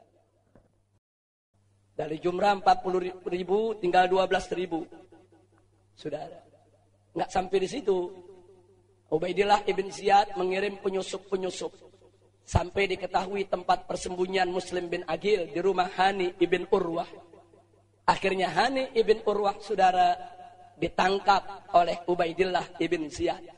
Muslim bin Agil begitu dengar Hani bin Urwah ditangkap. Saudara, dia kerahkan pasukannya yang 12 ribu itu. Dia kepung rumah Ubaidillah ibn Ziyad. Sudah dikepung rumah gubernur saudara. Tapi begitu kepengampungan berlangsung, ini tokoh-tokoh gobail, tokoh-tokoh gobila datang menarik keluarga mereka untuk tidak ikut-ikutan saudara. Bahkan sampai mereka turunkan ibu-ibunya, istri-istrinya, anak-anaknya ditarik. Ayo abah pulang, ayo pulang. Sampai dari 12 ribu tinggal 300 orang. 300 orang lagi dipecah, sampai tinggal Muslim bin Agil sendirian. Sudah. Sendiri. Sendiri dikejar. Dikejar dan akhirnya ditangkap, saudara. Nah, pada tanggal 8, pada tanggal 9, uh, eh, saudara Dhul Hijjah, yaitu hari Arafah, Muslim bin Agil dibunuh oleh Ubaidillah ibn Ziyad. Sebelum dibunuh, Muslim bin Agil menyampaikan kepada Muhammad ibnul Ash'ad. Ini kawan daripada Umar ibn Sa'ad ibn Abi Waqqas. di mana menyampaikan kepada dia karena Muslim bin Agil sebelum dihukum mati sempat menangis. Kemudian begitu menangis, diledek saudara. Masa pejuang nangis? Kan berontak kemarin katanya mau mau jatuhkan khalifah. Masa begini aja nangis? Apa dijawab oleh Muslim bin Agil? Wallahi demi Allah, aku tidak menangis karena aku takut untuk kalian bunuh. Tidak. Yang aku takut, yang aku sedih adalah aku sudah terlanjur menyurati Hussein. Aku sudah terlanjur memberitahu Hussein bahwa di sini orang mendukung dia. Ternyata semua mengkhianatinya. Jadi kata Muslim bin Agil, ya Muhammad, ya Ibn al-Azhaj. Kalau kau punya niat baik, kau masih punya sedikit rasa cinta kepada keluarga Nabi. Izinkan aku menulis surat. Kau sampaikan kepada Hussein. Tidak usah datang ke Kufah. Diterima itu surat saudara. Dan Muslim bin Agil dibunuh tepat pada tanggal 9 Dhul Hijjah hari Arafah. Lalu bagaimana dengan Sayyidina Husain di Mekah? Sayyidina Husain sudah keluar dari Mekah di hari Tarwiyah tanggal 8 Dhul Hijjah, saudara. Jadi tanggal 8 Sayyidina Husain keluar, tanggal 9 Muslim bin Agil sudah dibunuh, seluruh pendukung Husain sudah porak-poranda dipecah belah, saudara. Sayyidina Husain nggak tahu. Kabar khair berangkat dengan niat untuk mencari ridha Allah, saudara. Untuk menyusun kekuatan. Bawa anak-anaknya, bawa putri-putrinya, saudara, bawa saudara-saudara perempuannya. Akhirnya Sayyidina Husain berangkat untuk menuju Kufa. Al Husain keluar dari Mekah tanggal 83 tahun 60 Hijriah. Muslim bin Agil dibunuh Ibnu Ziyad tanggal 9 Dzulhijjah tahun 60 Hijriah, Saudara. Sekarang mari kita lihat perjalanan Al-Husain. Ini kalau saya rincikan 5 jam nggak selesai, Saudara. Ini perjalanan luar biasa. Ini memang tragedi luar biasa. Bukan bukan cerita sembarangan, Saudara. Berat, berat. Mari kita lihat, Saudara. Yang pertama, Sayyidina Husain keluar dari Mekah melalui Tan'im. Keluar dari Mekah, singgah sebentar di Tan'im. Ketika itu, jamaah haji sedang menuju Mina, saudara. Nah, kemudian dari sana, yang kedua, Sayyidina Husain terus melanjutkan perjalanan ke arah utara. Jadi ini Mekah, kalau anda lihat dari sebelah sana, di sini Madinah, Kufah di atas, saudara. Jadi Sayyidina Husain lurus berangkat ke atas, lewat Tanim, mampir di As-Sofa. Di As-Sofa beliau bertemu dengan seorang penyair Farsi, saudara yang bernama Farasdak. Kemudian Sayyidina Husain bertanya kepada Farasdak, ada berita, berita apa ya Farasdak? Dari negeri di mana kau datang? Maksudnya ahlu Kufah. Apa Farasdak menjawab kepada Al Husain? Ya Husain, kulubun nas ma'akum wa suyufuhum ma'abani Umayyah.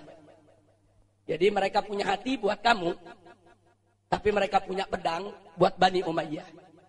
Itu jawaban Farasdak. Riwayat lain lagi mengatakan kulubuhum ma'at wasuyufahum alaik. Hati mereka untukmu, tapi pedang mereka yang akan menghancurkanmu. Nah, ini di As-Safa. Nah, kemudian setelah itu saudara, nah, Sayyidina Husain melanjutkan perjalanan ke Batnur Rumah.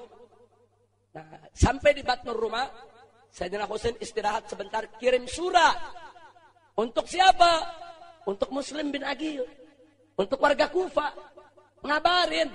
Kalau Sayyidina Husain udah keluar dari Mekah dan sudah sampai Batnur Rumah, sudah ada.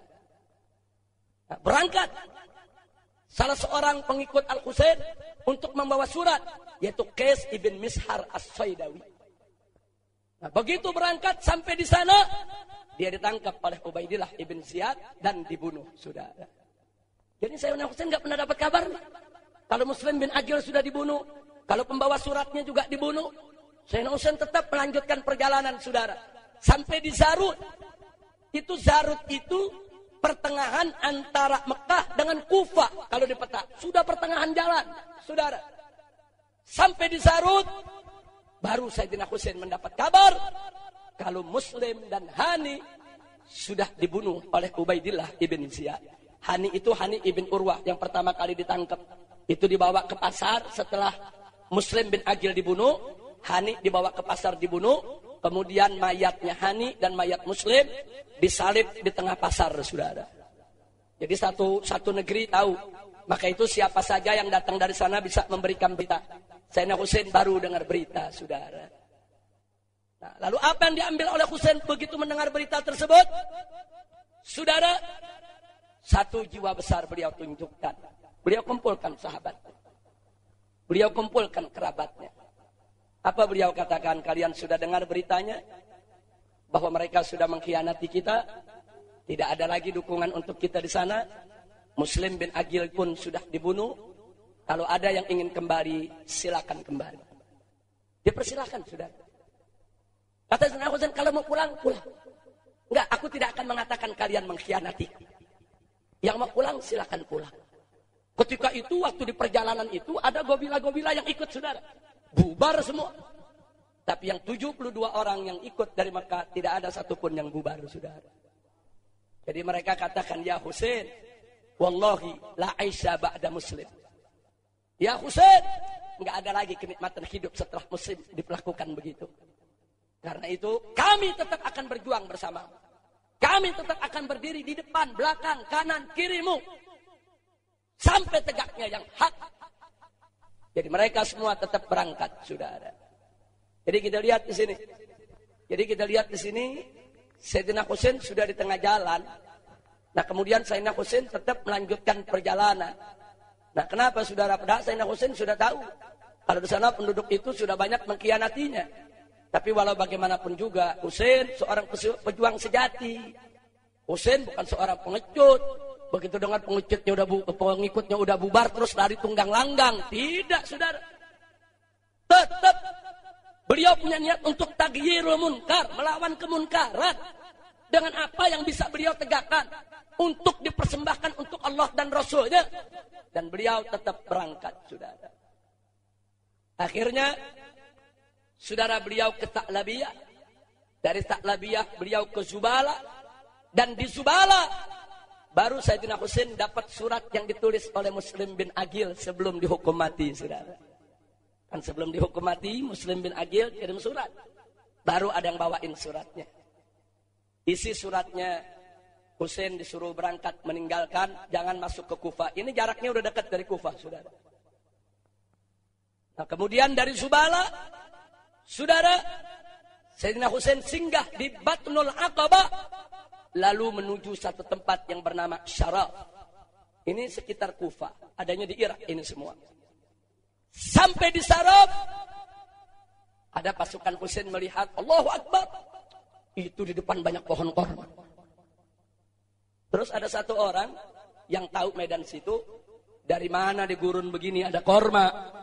Itu bukan korma, itu pasukan Ubaidillah ibn Ziyad itu ribuan dari kejauhan kelihatannya kayak kebun korma, saudara. Nah, jadi di sini mulai Sayyidina Husain dan keluarga serta sahabat melihat dari kejauhan pasukan Ibnu Ziyad. Nah, kemudian saudara, selanjutnya Al Husain menyingkir ke Zuhusam. Jadi kalau beliau lurus bertemu dengan pasukan tadi. Beliau menyingkir ke kanan sedikit saudara, satu tempat yang bernama Zuhusam. Dari Zuhusam beliau teruskan lagi ke satu tempat yang bernama Udaib. Saudara. Nah kemudian sampai Udaib, akhirnya beliau masuk ke Al-Qadisiyah. Nih di Al-Qadisiyah, beliau dihalangi masuk Kufah oleh Al-Hurru Ibn Yazid salah seorang komandan pasukan tempur daripada Ubaidillah ibn Ziyad. Al-Qurru bilang, aku diperintahkan untuk menghalangi kau masuk Kufah. Aku tidak diperintahkan perang, aku tidak diperintahkan untuk membunuh atau mengganggumu, tapi aku diperintahkan agar kau tidak masuk ke Kufah. Nah kemudian, Sayyidina Husain digiring saudara, yaitu dari Qadisiyah ke Karbala via Kasar Bani Muqatil. Sayyidina Husain mampir ke satu tempat yang disebut Kasar Bani Muqatil. Dari situ baru berangkat ke Karbala. Sampai di Karbala, Sayyidina Husain tanya kepada sahabatnya, ini tempat namanya apa? Dijawab, ini Karbala. Sayyidina Husain langsung mengatakan karbun wa bala. Karbun itu kesedihan, bala musibah. Nah, jadi Sayyidina Husain lahu karamah, sudah. Jadi beliau sudah lihat. Ini tanda-tanda nggak bagus. Apa yang akan terjadi nanti, saudara? Nah, kemudian setelah itu saudara di Karbala, Sayyidina Husain dikepung oleh pasukan Umar ibn Sa'ad ibn Abi Waqqas. Ini putra pejuang Islam Sa'ad ibn Abi Waqqas radhiyallahu taala anhu punya putra bernama Umar. Inilah yang menjadi panglima tempurnya Ubaidillah ibn Ziyad. Kalau Al-Hurru ibn Yazid itu komandan, komandan batalionnya. Tapi panglimanya Umar ibn Sa'ad, saudara. Nah, di hadapan Umar ibn Sa'ad inilah terjadi akhirnya perundingan antara Husain dan Umar, saudara. Nanti kita lihat apa isi perundingannya dan apa kejadiannya. Tapi setelah ini akhirnya puncaknya Hussein dan keluarga serta sahabat dibantai pada tanggal 10 Muharram tahun 61 Hijriah. Lalu apa terjadi antara perundingan antara Hussein dengan Umar ibn Sa'ad ibn Abi Waqqas sebelum terjadi pembantaian saudara. Perundingan pertama Al-Husain mengajukan kepada Umar ibn Sa'ad bahwa dia datang bukan tidak diundang. Tapi dia datang karena diminta oleh para tokoh Kufa. Sayyidina Husain tunjukkan surat-suratnya. Sayyidina Husain tunjukkan nama-namanya. Ini mereka-mereka semua yang mengundangku ke Kufa. Jadi aku bukan datang sendiri. Nah, karena itu aku mau lihat. Kalau memang mereka sudah tidak lagi mau menerimaku, aku kembali ke Makkah. Nah, Umar bin Sa'ad begitu dengar ucapan Husain baik. Kalau begitu aku sampaikan ke Ubaidillah ibn Ziyad. Apa yang kau sampaikan? Sayyidina Husain mau balik ke Makkah. Kalau memang Kufah tidak menerima, saudara. Nah kemudian begitu sampai Ubaidillah ibn Ziyad suratnya uh, Umar ibn Sa'ad ini kirim surat terus salah satu prajurit berangkat dibalas oleh Ubaidillah ibn Ziyad. Apa Ubaidillah ibn Ziyad mengatakan? Ubaidillah ibn Ziyad mengatakan, saudara, tidak ada kompromi untuk Husain kecuali dia harus membaiat Yazid. Tidak ada. Tidak boleh masuk Kufa, tidak boleh kembali ke Mekah. Sebelum Husain memberikan baiat kepada Yazid. Perundingan pertama gagal, saudara. Akhirnya masuk perundingan kedua. Al-Husain menyampaikan kepada Umar bin Sa'ad bin Abi Waqqas. Apa? Yang pertama, ada tiga pilihan. Biarkan Al-Husain kembali ke Mekah atau Madinah. Yang kedua, atau biarkan Al-Husain menemui langsung Yazid di Damaskus. Sudah. Husain yang mau bicara langsung. Husain yang mau menyampaikan langsung. Kenapa Husain tidak mau memberikan bayat kepada Yazid? Supaya Yazid dengar langsung alasannya, saudara. Yang ketiga, atau Al Husain nggak boleh pulang ke Mekah. Al Husain nggak boleh bertemu dengan Yazid. Biarkanlah Al Husain dengan kerabat dan sahabat dikirim ke perbatasan saja. Untuk menjaga keperbatasan, kalau-kalau nanti ada negeri musuh yang menyerang umat Islam, saudara. Tiga tawaran. Umar ibn Sa'ad ibn Abu Waqqas lihat tiga tawaran ini, yakin. Kalau Ubaidillah ibn Ziyad akan menerima, saudara. Kirim lagi prajurit ke Ubaidillah ibn Ziyad. Ubaidillah ibn Ziyad begitu baca itu surat, mulai mempertimbangkan. Satu di antara tiga. Tapi saat itu saudara ada Dil Jausan. Ibnu Dil Jausan ini saudara, orangnya ganas, kejam. Apa dia bilang? Ya Ibnu Ziyad, eh Ibnu Ziyad. Jangan terima syarat apa pun dari Husain. Jangan pakai kirim dia ke Yazid. Suruh dia tunduk patuh kepada hukummu. Berikan saja bayat kepada Yazid. Cukup melaluimu. Kalau dia tidak mau, habisi. Nah, akhirnya saudara, itu yang dijadikan putusan oleh Ibnu Ziyad. Menuntut Al-Husain menyerah dan tunduk padanya. Akhirnya Al-Husain mengatakan, Wallahi, depan Umar ibn Sa'ad, Wallahi, demi Allah, aku tidak akan tunduk kepada hukum Ibnu Ziyad.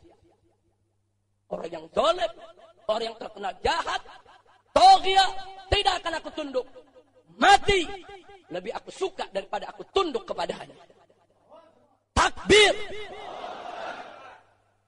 Ini enggak sembarangan, saudara. Sayyidina Husain enggak gampang tunduk sama orang-orang dolim, saudara. Nah, lalu setelah itu, saudara, nah setelah itu, saudara, akhirnya pada malam tanggal 10 Muharram. Nah, ini berbeda-beda riwayat. Ada yang bilang malam Jumat, ada yang bilang malam Sabtu. Nah, tapi di Ahlus Sunnah umumnya mengatakan malam Jumat, saudara. Pasukan Umar ibn Sa'ad sudah mendapat instruksi untuk menyerang Al-Husain dan seluruh sahabatnya saudara. Tapi Al-Husain meminta memanggil salah satu daripada keluarganya sampaikan kepada mereka besok kita bertempur. Malam ini biarkan aku ingin mendekatkan diri kepada Allah. Malam itu beliau sujud, sholat, baca Quran, saudara. Memberi nasihat kepada keluarga, kerabat, dan seterusnya. Sampai di pagi hari, baru pertempuran dimulai. Hari Jumat, tanggal 10 Muharram. Jadi kalau berdasarkan riwayat Ahlus Sunnah, pasukan Umar ibn Sa'ad kurang lebih 4 ribu. Tapi ada yang mengatakan 40 ribu. Bahkan ada juga riwayat yang mengatakan 400 ribu. Wallahu a'lam. Tapi yang jelas ribuan saudara. Sedangkan Sayyidina Husain hanya 72 orang. Jadi hanya 72 orang. 32 dengan berkuda, 40 tanpa kuda, saudara. Dilawan. Pertama duel, satu lawan satu. Setiap duel satu lawan satu, pasukan Umar ibn Sa'ad tidak ada yang bisa menang, saudara. Kenapa? Karena Al-Husain dengan pasukannya datang untuk Allah dan Rasulnya. Datang dengan semangat iman dan takwa. Datang untuk mati, bukan untuk mencari keduniaan. Nggak ada yang menang, satu lawan satu, saudara. Akhirnya, Umar ibn Sa'ad kondisi mubarazah tidak menguntungkan, saudara. Akhirnya diinstruksikan, terjadilah perang pertempuran di antara kedua belah pihak satu persatu pasukan Umar ibn Sa'ad tumbang dan satu persatu pasukan Al Husain juga tumbang saudara. Pertempuran luar biasa. Pertempuran antara 72 orang melawan ribuan orang. Ini pertempuran tidak berimbang. Tapi Sayyidina Husain dan pasukannya, kerabatnya, saudara, itu menjadi satu dengan semua daripada sahabatnya. Dia lawan habis-habisan. Dan akhirnya seluruhnya gugur. Pasukan yang 72 kecuali Al-Husain. Yang masih bertahan berdiri, saudara. Al-Husain terus menyerbu. Orang yang diserbu oleh Al-Husain kucar kacir, saudara. Pada saat itu umur Al-Husain udah di atas 60, sudah. Kucar kacir, nggak ada yang berani dekat dekat tidak mampu untuk menang melawan Al-Husain. Sampai Al-Husain kehausan, kelelahan, terus dia tempur. Tidak ada satupun pasukan musuh yang berani untuk duel langsung berhadapan dengan Husain. Tidak ada.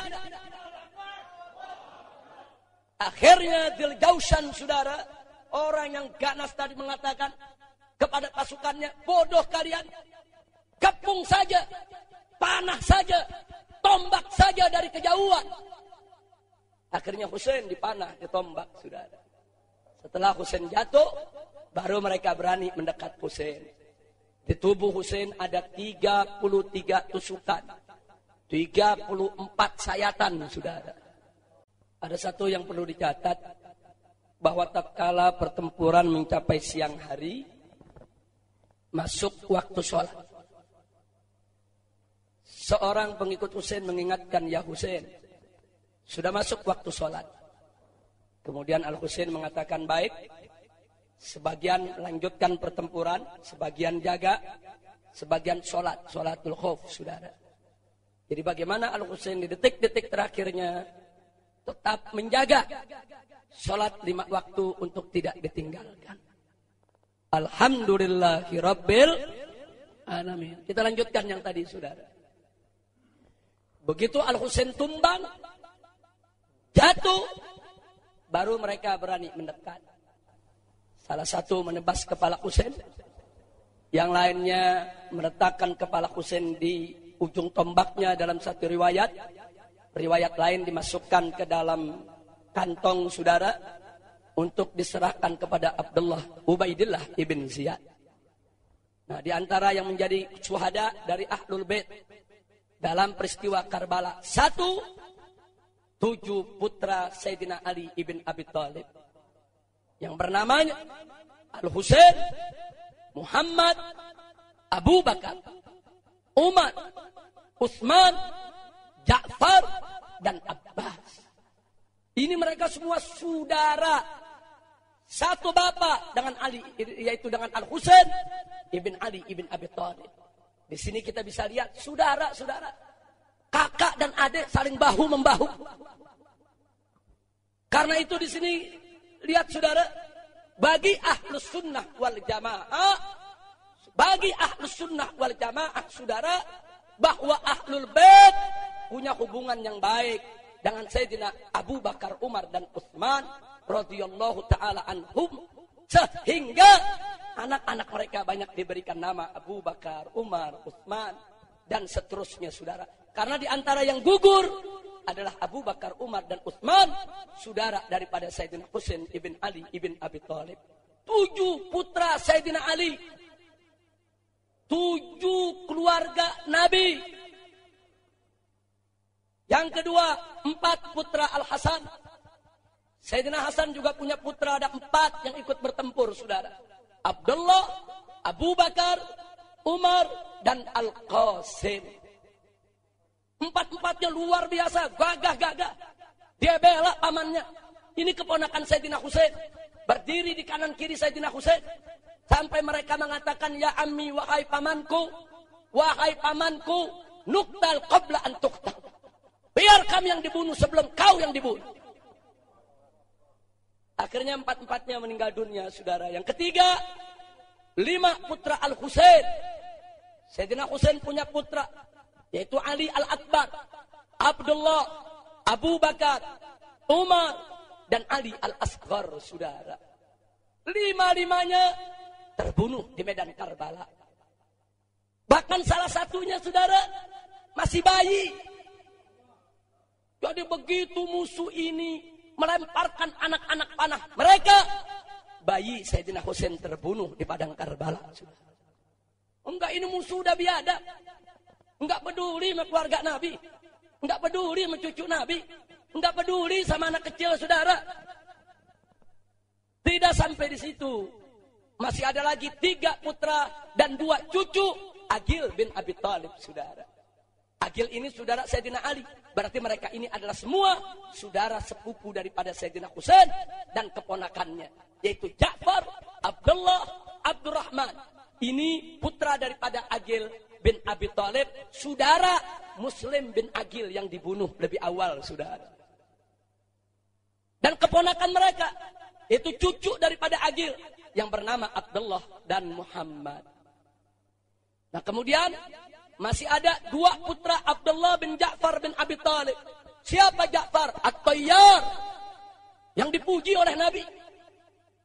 Yang dijanjikan sorga oleh Allah dan Rasulnya. Dan Ja'far ini adalah saudara kandung daripada Ali ibn Abi Talib. Beliau punya cucu dua ikut. Namanya Aun dan Muhammad saudara.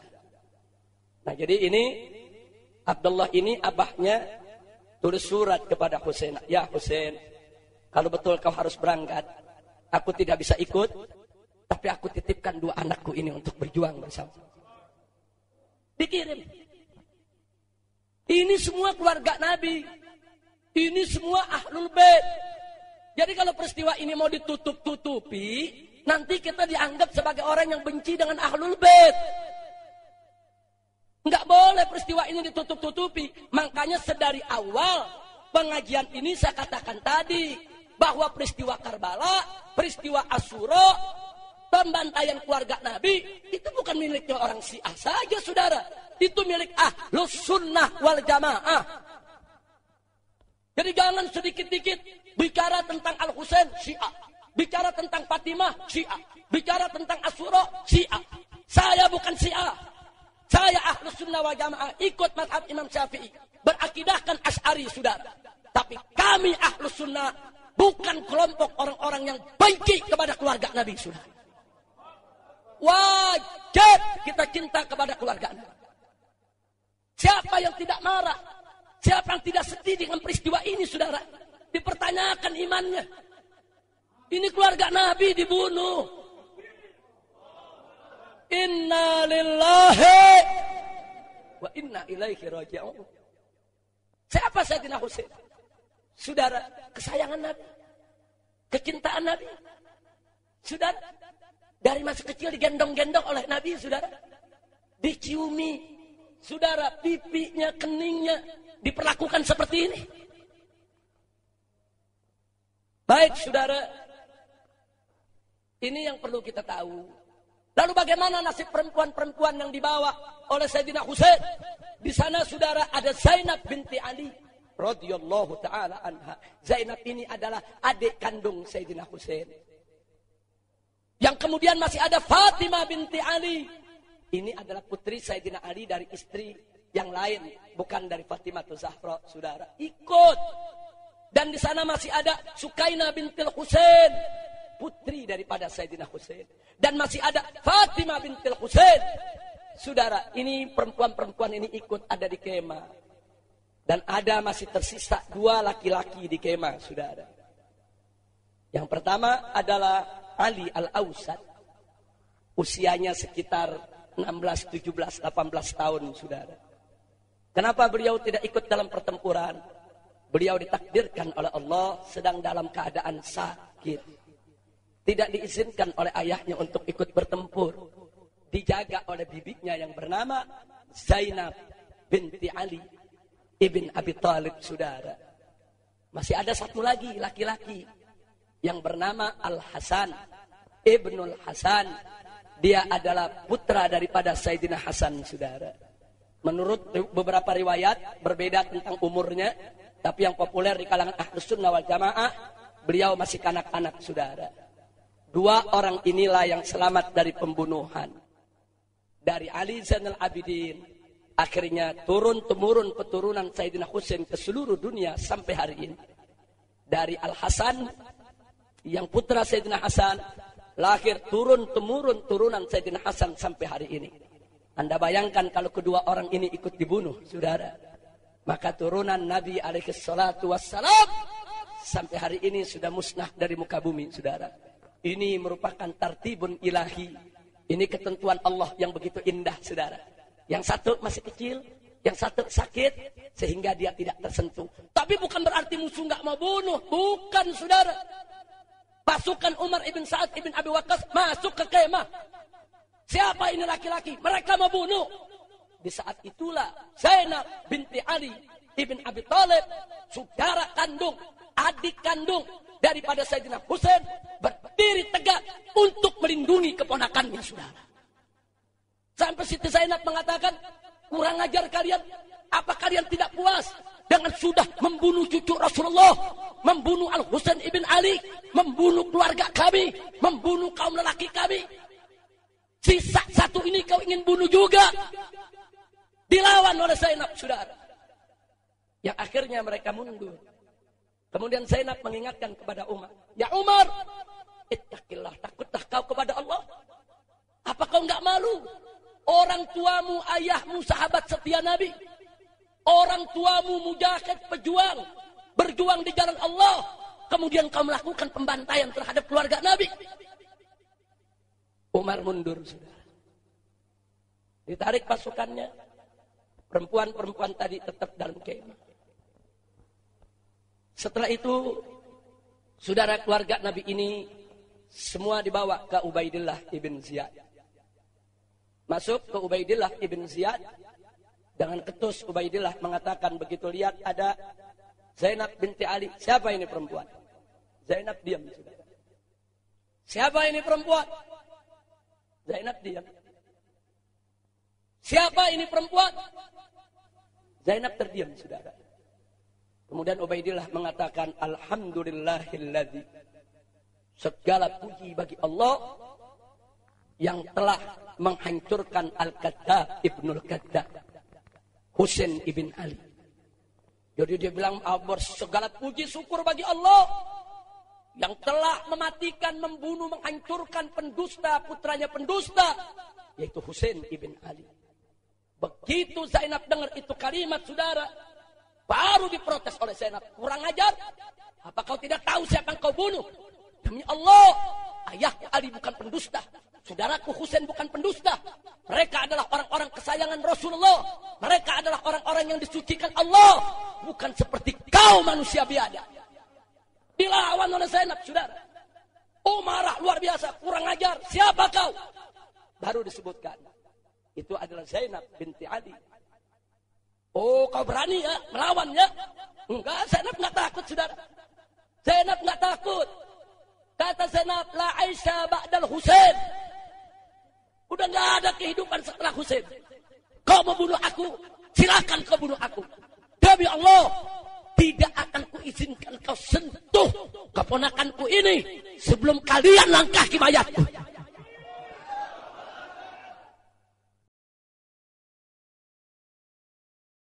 Saudara, akhirnya dengan kekuatan hujah dengan fasahatul lisan, dengan balagatul kalam, dengan wus'atul ulum, keluasan ilmu, fasihnya lidah, kepandaian bicara, saudara. Akhirnya Ubaidillah ibn Ziyad tidak berkutik. Tapi kemudian mereka semua dikirim ke Yazid, ke Damaskus, saudara. Diarak keluarga Nabi.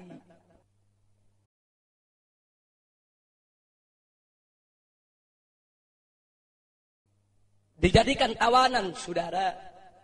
Dijadikan tawanan. Dan akhirnya di depan Yazid, saudara kepala Sayyidina Husain diletakkan. Yang sebelumnya di depan, saat itu di depan Ubaidillah ibn Ziyad, itu kepala diletakkan, dimain-mainkan, yaitu mulutnya dengan pisau, saudara, dengan pedang pendek. Ketika itu ada Anas ibn Malik yang sudah tua renta radhiyallahu taala anhu marah anak saudara.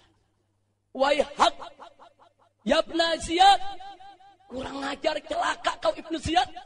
Wallahi aku lihat dengan mata kepalaku bagaimana mulut itu dicium oleh Nabi. Kau mainkan, kau hinakan. Demi Allah, Allah akan menghinakanmu yang dahsyat. Dan hal yang sama dilakukan oleh Yazid. Tapi akhirnya saudara, setelah semua sampai di sana, kemudian Yazid, saudara, beradu argumentasi dengan Zainab. Beradu argumentasi, sama seperti Ubaidillah ibn Ziyad. Setelah beradu argumentasi, akhirnya Yazid kalah bicara, tidak berkutik. Baru Yazid mengatakan, Laknatullah yabna marjana. Artinya apa? Allah laknat. Itu Ubaidillah ibn Ziyad. Tapi sayang sejuta sayang.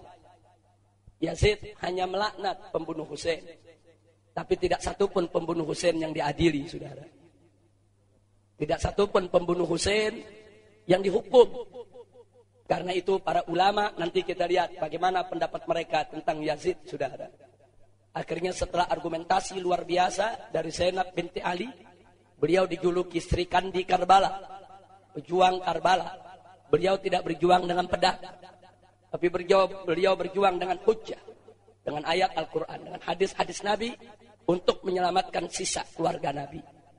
Kesimpulan akhir, kemudian mereka akhirnya dikembalikan ke Madinah, dan mulai saat itu Ali Zainul Abidin, putra Hussein, menekuni untuk selalu ibadah kepada Allah. Mulai saat itu beliau tidak lagi mau tahu urusan politik, saudara. Cukup sudah. Cukup sudah bagi beliau ketika itu hiruk pikuk politik, saudara. Yang luar biasa, penuh kelikikan, kekotoran, kesadisan. Beliau jauhkan dunia itu. Akhirnya beliau banyak sujud kepada Allah. Makanya beliau dijuluki as-sajjad. Orang yang banyak sujud kepada Allah.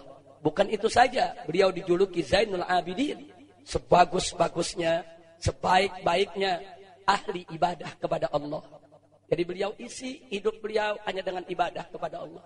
Tapi setiap beliau ingat peristiwa Karbala, beliau meneteskan air mata. Ada orang bertanya, Ditanya, ya Ali Zainal Abidin, peristiwanya sudah lama berlalu.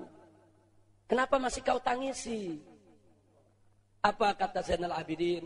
Bagaimana aku tidak menangis? Bagaimana aku tidak menangis? Yakub saja menangis hingga buta karena kepergian Yusuf. Padahal Yakub tahu Yusuf pasti akan kembali. Lalu bagaimana aku? Aku lihat di depan mataku. Bagaimana ayahku, saudara-saudaraku, mereka dibantai semua. Dan mereka tidak kembali lagi kepada aku. Jadi jangan kau ganggu aku dengan kesedihanku. Jadi sedih ini dari mahabbah. Tapi memang kita tidak boleh meratap, saudara. Tidak boleh kesedihan kita itu menghilangkan semangat juang kita. Enggak boleh kesedihan itu membuat kita putus asa. Tidak. Al-Husain gugur di Karbala bukan untuk membuat kita jadi orang-orang cengeng. Bukan untuk membuat kita jadi orang-orang pengecut. Beliau gugur di medan Karbala untuk menegakkan keadilan, melawan kedoliman, untuk mendidik umat Islam ini tidak boleh. Diam. Terhadap segala bentuk kemunkaran. Walaupun nyawa taruhannya sudah.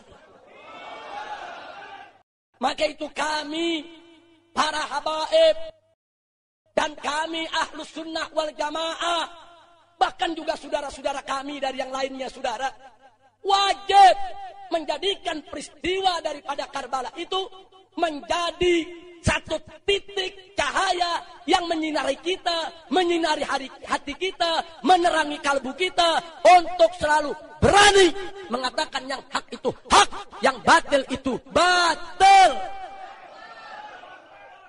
Ini Al Husain sudah. Silakan menangis. Tangisan dalilul mahabbah. Dalilul mahabbah. Tapi ada yang lebih penting dari itu semua, saudara. Gelorakan semangat jihad kita gelorakan semangat kita untuk melawan penguasa-penguasa yang dolim, penguasa-penguasa yang sewenang-wenang, untuk melawan apa saja kebatilan dan kemunkaran yang ada, saudara. Ini pendidikan yang diberikan oleh Sayyidina Husain ibn Ali ibn Abi Talib radhiyallahu anhu wa an walidayhi wa an jami'i ashabih wa garabatih. Amin ya rabbal alamin. Sekarang pertanyaannya, siapa yang bertanggung jawab atas pembantaian Al-Husain dan Ahlul Bait? Pertama, sepakat ulama Ahlus Sunnah wal Jamaah bahwa yang bertanggung jawab adalah Yazid bin Muawiyah. Kenapa? Karena selaku raja yang berkuasa dan memerintah, saudara. Yazid dengan kekuasaannya dia bisa hentikan itu. Dia bisa arahkan Ubaidillah ibn Ziyad untuk tidak diberikan wewenang seenaknya untuk membantai keluarga Nabi. Dan yang kedua, saudara, yang bertanggung jawab adalah Ubaidillah ibnu Ziyad. Kenapa? Karena dia selaku gubernur Basra dan Kufa dan inilah orang yang mengatur semuanya, saudara. Ini yang mengirim bala tentara. Ini yang memutuskan yaitu untuk damai atau tidak damai, menerima atau tidak menerima daripada usulan Al-Husain. Kemudian yang ketiga, saudara, Umar ibn Sa'ad ibn Abi Waqqas. Ayahnya orang baik, ayahnya pejuang, ayahnya al-mubasyiri termasuk mubasyiri Nabil jannah radhiyallahu an Sa'ad ibn Abi Waqqas. Tapi anak ini saudara tidak ikut ketaatan ayahnya, tidak taat kepada Allah dan Rasulnya. Dia yang menjadi panglima pasukan Ibnu Ziyad. Dia yang mengepung pasukannya yang mengeksekusi daripada keluarga Nabi. Yang keempat, seluruh pasukan Ibnu Ziyad selaku penyerang dan pembantai keluarga Nabi saudara. Semua bertanggung jawab. Dan yang kelima saudara, penduduk Kufah. Penduduk Kufah selaku pihak yang meminta kedatangan Al-Husain semua bertanggung jawab. Saudara yang tulis surat kepada Sayyidina Husain saudara, orang Kufah yang ngepung Sayyidina Husain orang Kufah saudara. Nah, jadi ini semua ini bertanggung jawab dan kelak akan ada pengadilan Allah Subhanahu wa taala. Tapi ternyata subhanallah Allah kirimkan bala kepada mereka sebelum kiamat, Saudara. Mari kita lihat nanti, Saudara. Pembalasan Allah Subhanahu wa taala terhadap para pembantai Al-Husain dan Ahlul Bait. Mari kita lihat. Pertama, Yazid bin Muawiyah. Di tahun 60 Hijriah memaksa rakyat untuk membaiatnya. Di tahun 61 membunuh Al-Husain dengan tangan Ibnu Ziyad. Di tahun 62 ternyata Yazid tidak berubah menjadi baik setelah membunuh keluarga Nabi. Justru di tahun 62 mengerahkan pasukan menyerang Madinah, saudara. Dan meminta kepada Muslim bin Uqbah, saudara, diberikan izin selama tiga hari. Halal dia untuk mengacak-ngacak Madinah. Diajak-ajak Madinah selama tiga hari. Anak-anak Ansor, anak-anak Muhajirin dibunuh. Harta benda mereka dirampas. Orang-orang Madinah melakukan perlawanan. Kota suci Nabi diporak-porandakan tiga hari, tiga malam, sudah. Kemudian tahun 63, dia serang Mekah. Saudara, dia serang Mekah, dia kirim pasukan. Dia menggunakan majani. Majani itu saudara batu-batu alat lontar. Itu yang melontarkan batu saudara. Batu-batu besar dilontarkan. Ada yang tidak pakai api, ada yang pakai api sudah. Dilontarkan. Dia mau bumi hanguskan Mekah, dia mau porak-porandakan Mekah. Dan ternyata Ka'bah ikut rusak saudara. Jadi ini manusia macam apa? Keluarga Nabi dibunuh, Kota Madinah dirusak kesuciannya.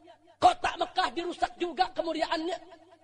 Dan akhirnya di tahun 63 itu Allah cabut nyawa Yazid saudara. Umurnya baru 33 tahun. Jadi dia mimpin cuma 4 tahun, gak lama. Setelah kematian Al-Husain di Karbala, umat Islam di mana-mana melakukan pemberontakan, saudara.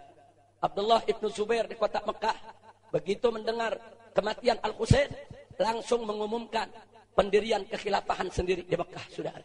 Dan beliau dibaiat oleh seluruh penduduk Mekah. Kemudian orang-orang Madinah mendengar begitu, langsung semua mencabut baiatnya dari Yazid. Dan mereka semua membaiat Abdullah ibn Zubair, saudara. Jadi supaya anda tahu, nggak sampai di situ, saudara. Bahkan, begitu peristiwa Karbala selesai, besoknya Ubaidillah ibn Ziyad di Kufa berpidato, saudara. Di Masjid Kufa. Dia berpidato, dia katakan, Alhamdulillah Allah telah menghancurkan musuh-musuh kita. Maksudnya Al Husain dan keluarganya serta kerabatnya. Ketika itu di dalam masjid, saudara, di dalam masjid ada Abdullah ibn Afif al-Azadi. Orang ini sudah tua, matanya dua-dua udah buta. Karena dulu ikut bertempur membela Sayyidina Ali, saudara. Begitu dia dengar kabar Sayyidina Husain dibunuh dengan keluarganya, saudara. Dia dengar ini gubernur lagi ceramah. Memuji Allah karena Allah sudah menghabisi Husain dan keluarganya. Dia berdiri, dia lawan kurang ajar. Engkau yang akan dihancurkan oleh Allah. Engkau manusia yang biadab. Husain itu cucu Rasulullah. Husain itu adalah pemimpin sabab ahli sorga. Akhirnya orang ini ditangkap dan dibunuh oleh Ubaidillah ibn Ziyad, saudara. Oh, nggak sampai di situ. Ada lagi seseorang yang bernama Sulaiman ibn Sarat. Saudara, radhiyallahu anhu sahabat Nabi umurnya sudah 93 tahun saudara. 93 tahun. Begitu dia dengar Husain diperlakukan begitu dalam usia 93 dia datangi mana kemarin yang katanya mau ikut membela Husain? Mana yang kemarin mengundang Husain kemari? Dia kumpulkan semua dalam usia 93 tahun. Dia yang pimpin dia kejar Ubaidillah ibn Ziyad sudah 93 tahun. Dia tidak terima tapi karena kekuatannya tidak seberapa, akhirnya dia dengan pasukannya dihabisi oleh Ubaidillah ibn Ziyad dengan pasukannya yang besar, saudara. Dari sini, akhirnya di mana-mana terjadi pemberontakan. Salah satu lagi, ada lagi yang bikin satu pasukan, saudara. Yang bernama Al-Mukhtar Al-Thaqafi. Hari ini dia bikin tim, bukan lagi untuk perang, tapi untuk memburu. Dikari. Mana tuh yang terlibat dalam pembunuhan keluarga Nabi? Dikari satu-satu. Dikejar di mana rumahnya, di mana adanya. Makanya Imam Ibn Kathir rahimahullahu taala dalam kitab tafsir Ibn Kathir mengatakan hampir semua riwayat yang menceritakan kematian dan kematian dan siksaan azab yang didapat oleh para pembantai keluarga Nabi hampir semua riwayat adalah sahih. Ada yang gila, saudara, ada yang dibunuh, ada yang menderita penyakit dan lain sebagainya. Tidak ada satupun yang selamat, saudara. Dan itu juga dibenarkan oleh Syekhul Islam Ibn Taimiyah rahimahullah taala. Ibn Taimiyah mengatakan tidak ada satu orang pun yang membunuh Husain yang selamat dari siksa Allah. Bahkan di dunia sudah kelihatan bagaimana mereka semua terkena adabnya. Nah kemudian saudara, yang kedua mari kita lihat. Ubaidillah ibnu Ziyad dibunuh oleh Ibrahim ibnu Ashtad. Kapan dibunuhnya? Pada hari Asyura 10 Muharram, Saudara. Di tahun kapan? Di tahun 67, 6 tahun berikutnya, Saudara. Begitu dibunuh, dipenggal kepalanya, dikirim ke Al-Mukhtar At-Taqafi. Lalu Al-Taqafi mengirim kepala tersebut kepada Abdullah ibnu Zubair yang ada di Mekah, saudara. Lalu oleh Abdullah ibnu Zubair, kepala itu diserahkan kepada keluarga Nabi, saudara. Takbir! Bagaimana dia memperlakukan Husain? Begitulah Allah memperlakukan dia, saudara. Dia bunuh Husain, Allah bunuh dia. Dia penggal kepala Husain, Allah penggal kepala dia. Dengan orang yang Allah kehendaki. Dia bawa kepala Husain ke mana-mana. Kepala dia dikirim, saudara, ke Mekah. Sampai ke rumah daripada keluarga Nabi. Kemudian keluarga Nabi menolak kepala tersebut. Untuk diletakkan di luar. Di pinggiran masjid, saudara. Begitu ditaruh di sana, apa yang terjadi? Tiba-tiba ada ular datang. Masuk ke kepalanya. Masuk dari kuping, keluar dari mata, masuk ke mulut, keluar dari bawah. Orang nggak berani mendekat, saudara. Sampai itu ular diam di dalam itu kepala. Nggak lama kemudian ular itu pergi, entah ke mana, entah apa dan bagaimana itu ular. Wallahu a'lam. Ini diceritakan oleh Ibn Kathir di dalam tarikhnya, saudara. Nah, jadi kita bisa lihat, ini namanya pembalasan kemudian mari kita lihat lagi bagaimana Umar bin Sa'ad saudara bin Abi Waqqas dia dengan anaknya dibunuh oleh pasukan Al-Mukhtar. Enggak, enggak ada yang selamat. Dikejar dibunuh. Adapun yang bisa melarikan diri saudara, enggak lolos dari siksa Allah. Nah, kemudian mari kita lihat lagi saudara, para eksekutor pembantai Al-Husain. Siapa saja? Satu, Hakim bin Tufail At-Ta'i. Ini yang memanah Sayyidina Husain saudara. Dibunuh oleh pasukan Mukhtar At-Taqafi. Kemudian mari kita lihat lagi Sinan bin Anas An-Nakhai. Ini yang menebas kepala Al-Husain. Rumahnya dihancurkan. Dianya gila hingga tua rentah, saudara. Jalan ke mana-mana gila, kencing di jalanan, telanjang, saudara. Nah kemudian nggak sampai di situ. Kemudian siapa lagi? Samar ibn Dil Jausan atau Babi. Inilah yang memenggal kepala Al-Husain. Inilah yang ngomong sama Ubaidillah ibn Ziyad. Jangan sia-siakan kesempatan habisi Al-Husain. Lalu apa yang terjadi? Dia dikejar, dibunuh, dan jasadnya dilempar untuk makanan anjing. Ini semua aturan Allah. Apa ada ahlul bait yang nyuruh begini? Enggak ada. Al-Imam Ali Zainal Abidin setelah peristiwa Karbala balik ke Madinah, zuhud, ibadah. Dia lapor kepada Allah, saudara. Enggak ada. Imam Ali Zainal Abidin kirim eksekutor, kirim pembunuh, kirim pasukan. Enggak. Apalagi nyuruh ngebakar sampai begini saudara. Enggak. Tapi ini kemarahan umat dicari satu persatu. Siapa itu yang membunuh keluarga Nabi? Nah ini Samar ibn Jausa dipenggal kepalanya. Saudara, ini yang memenggal Husain dipenggal, dibunuh. Bahkan jasadnya dilempar ke anjing-anjing gurun sudah. Kemudian siapa lagi saudara eksekutornya? Huli bin Yazid al-Asbahi. Siapa dia? Dia yang membawa, membawa kepala Al-Husain kepada Ibnu Ziyad.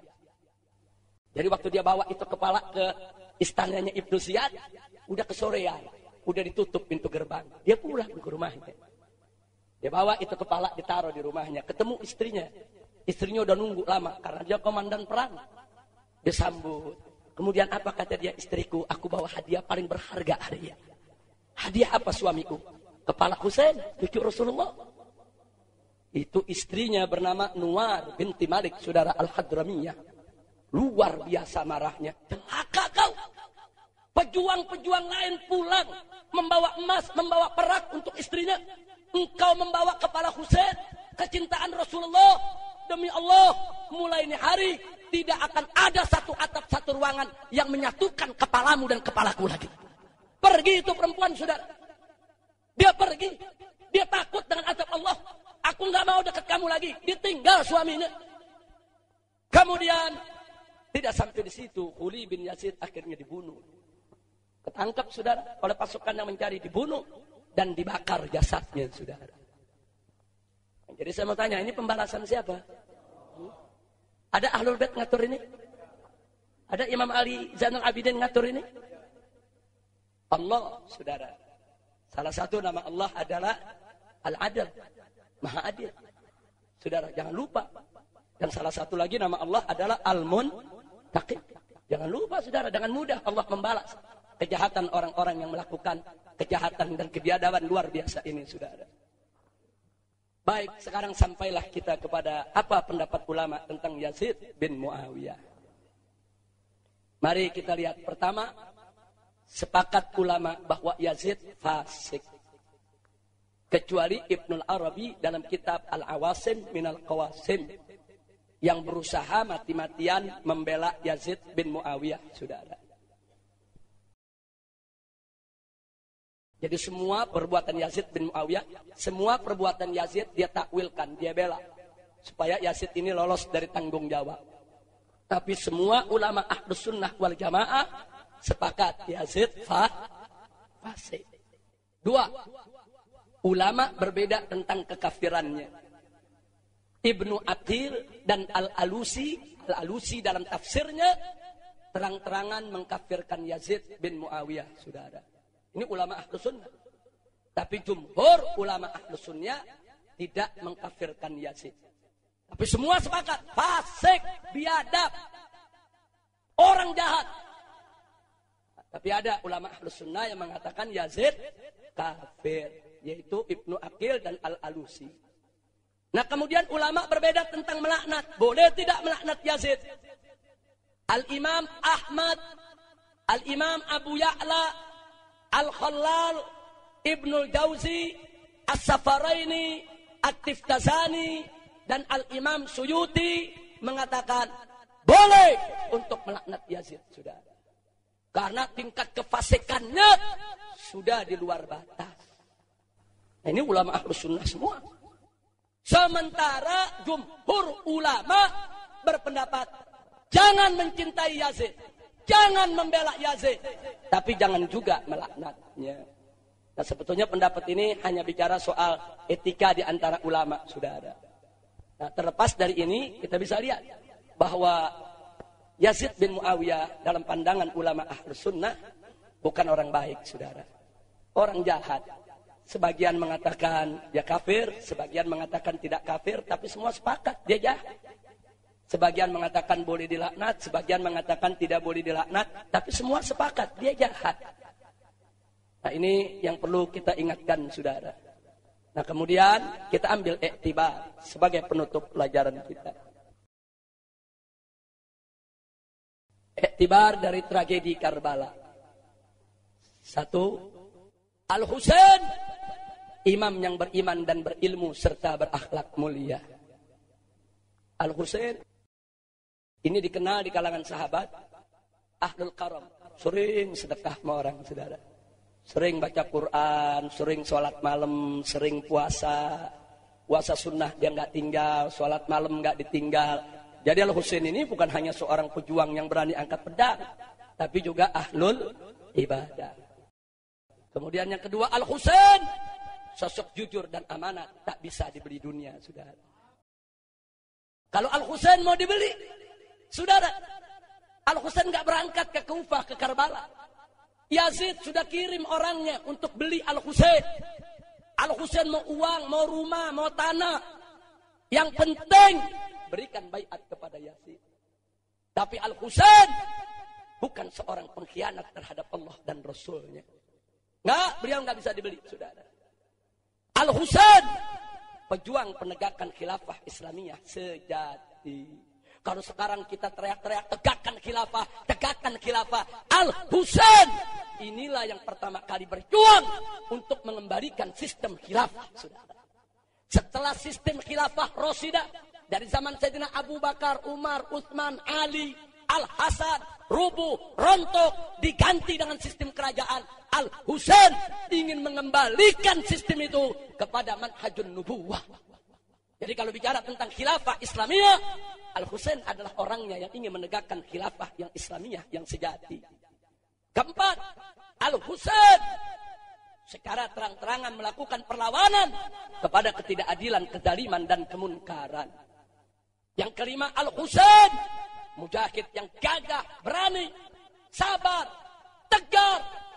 Enggak mengenallah dalam perjuangan, saudara. Sabar, bagaimana enggak sabar? 72 ngadepin ribuan orang enggak lari, saudara. Bagaimana nggak tegar? 72 orang ngadepin ribuan orang. Bersenjata terhunus. Pasukan berkuda. Nggak mundur. Gagah, berani, tegar, sabar. Itulah Sayyidina Husain ibn Ali ibn Abi Thalib. Al-Husain mengorbankan diri, kerabat, dan sahabat untuk Allah subhanahu wa ta'ala. Dikorbankan. Dirinya dikorbankan. Keluarganya, sahabatnya. Untuk siapa? Untuk Allah, saudara. Jangan pernah ragu untuk korbankan diri kita yang utama. Kemudian keluarga kita. Semua kerabat kita. Untuk Allah dan Rasulnya. Al-Husain mendidik umat Islam untuk berjuang dan berkorban. Al-Husain dan Ahlul Bait adalah penjaga Al-Quran dan As-Sunnah. Saudara, Peristiwa tragedi Karbala menjadi bukti bahwa yang siap mati untuk menjaga Al-Quran dan As-Sunnah yang pertama adalah Ahlul Bait Nabi. Pantas Nabi pernah mengatakan dalam riwayat Muslim, "Taraktu fikum muttaqalain, kitab Allah wa itrati ahli baiti." Dalam riwayat Bukhari, "Taraktu fikum muttaqalain, kitab Allah wa sunnati." Al-Imam Musuyuti mengatakan, dua hadis sama sahih tidak kontradiksi. Artinya Nabi meninggalkan Al-Quran dan As-Sunnah dan Ahlul Bait yang akan menjadi penjaga dan pembelanya. Sudah. Jadi Al-Quran adalah rujukan umat, As-Sunnah adalah rujukan umat, Ahlul Bait juga harus menjadi rujukan umat. Jadi Al-Husain sudah membuktikan dengan Ahlul Bait menjaga Al-Quran, menjaga As-Sunnah, menjaga ajaran yang dibawa oleh datuknya yaitu Rasulullah Sallallahu Alaihi Wasallam dari tangan-tangan kotor yang ingin merubahnya, saudara. Al Husain dan Ahlul Bait adalah pembela Islam yang istiqomah. Nah karena itu saya ajak semua di sini, saudara.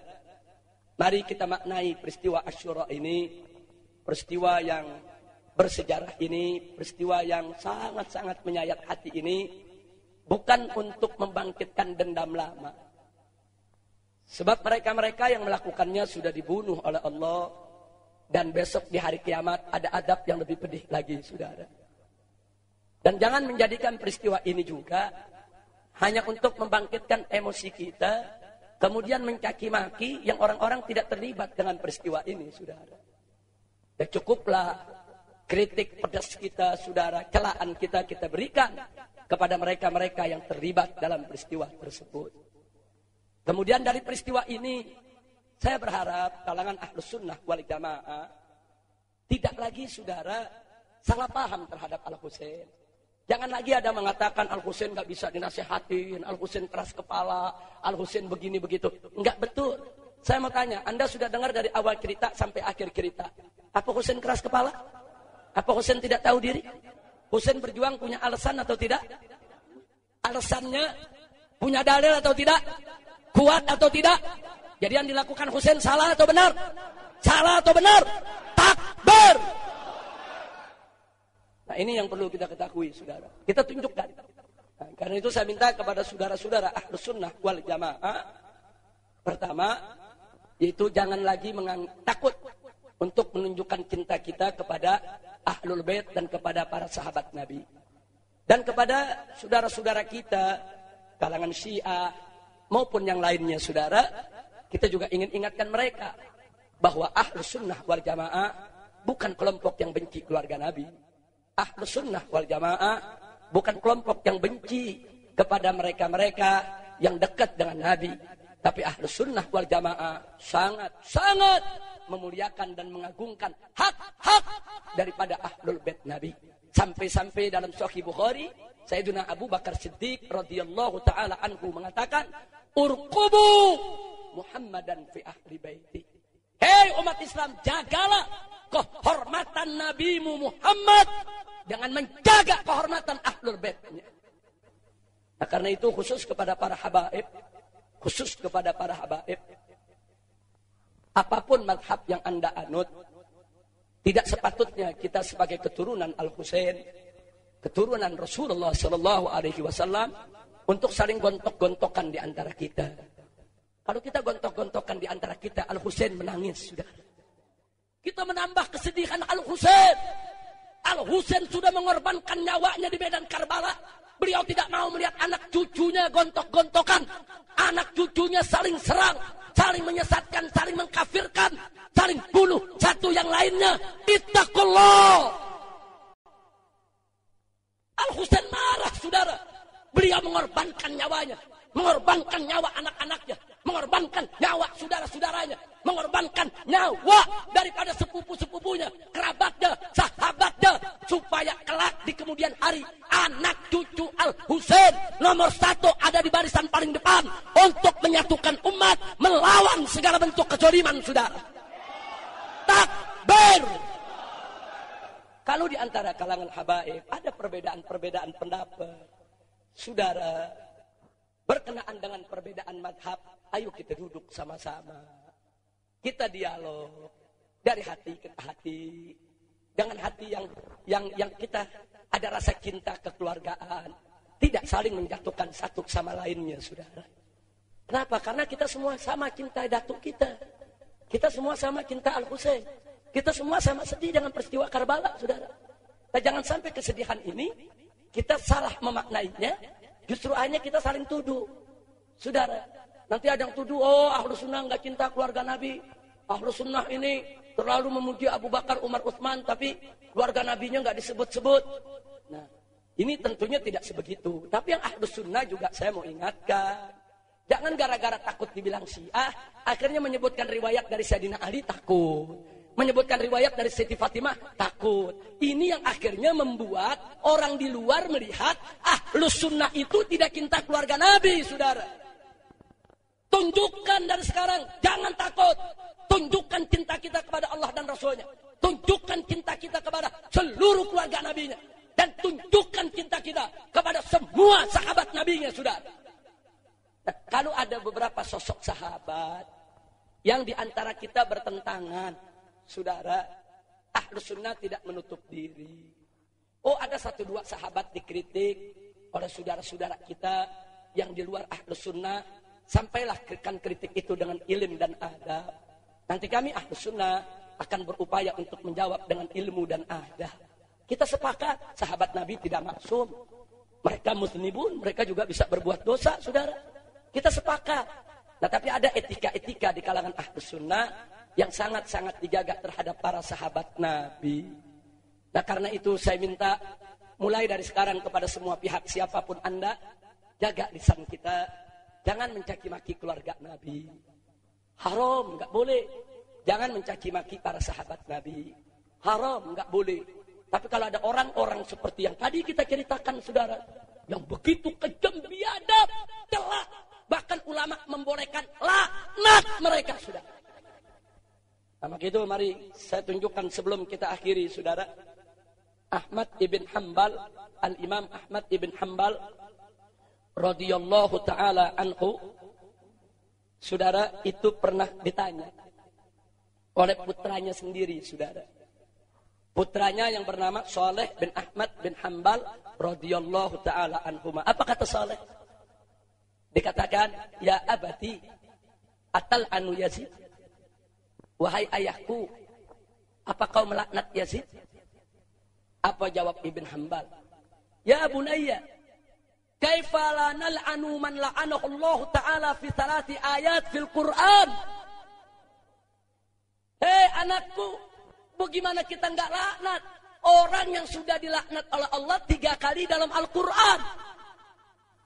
Dibacakan ayat-ayatnya oleh Imam Ahmad ibn Ahmad.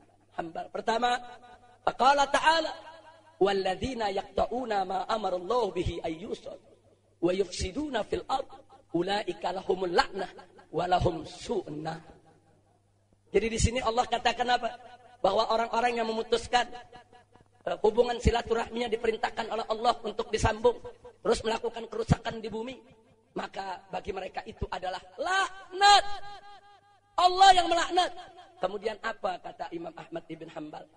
Wa ayyu qati'ati afdal min qati'atihi sallallahu alaihi wasallam fibna bintihi Zahra. Jadi putus silaturahmi itu Allah laknat. Putus silaturahmi yang lebih yang bagaimana? Yang lebih hebat daripada memutuskan putus silaturahmi dengan Rasulullah Sallallahu Alaihi Wasallam. Jadi kalau memutuskan silaturahmi sesama muslim saja, sudah Allah laknat. Bagaimana memutuskan silaturahmi dengan Rasulullah dengan membunuh cucunya Al Husain? Dan yang kedua, kata Imam Ahmad saudara, beliau bacakan lagi di dalam ayat lain. Faqala ta'ala, innal ladzina yu'tuna Allah wa rasulah la'anahumullah fid dunya wal akhirah. Yaitu sesungguhnya orang-orang yang menyakiti Allah dan Rasulnya dilaknat dilaknat oleh Allah di dunia maupun di akhirat. Kemudian apa kata Imam Ahmad? Wa ayu adiyatin lahu sallallahu alaihi wasallam fauqa qatli ibn bi ibnu ibnatik Zahra.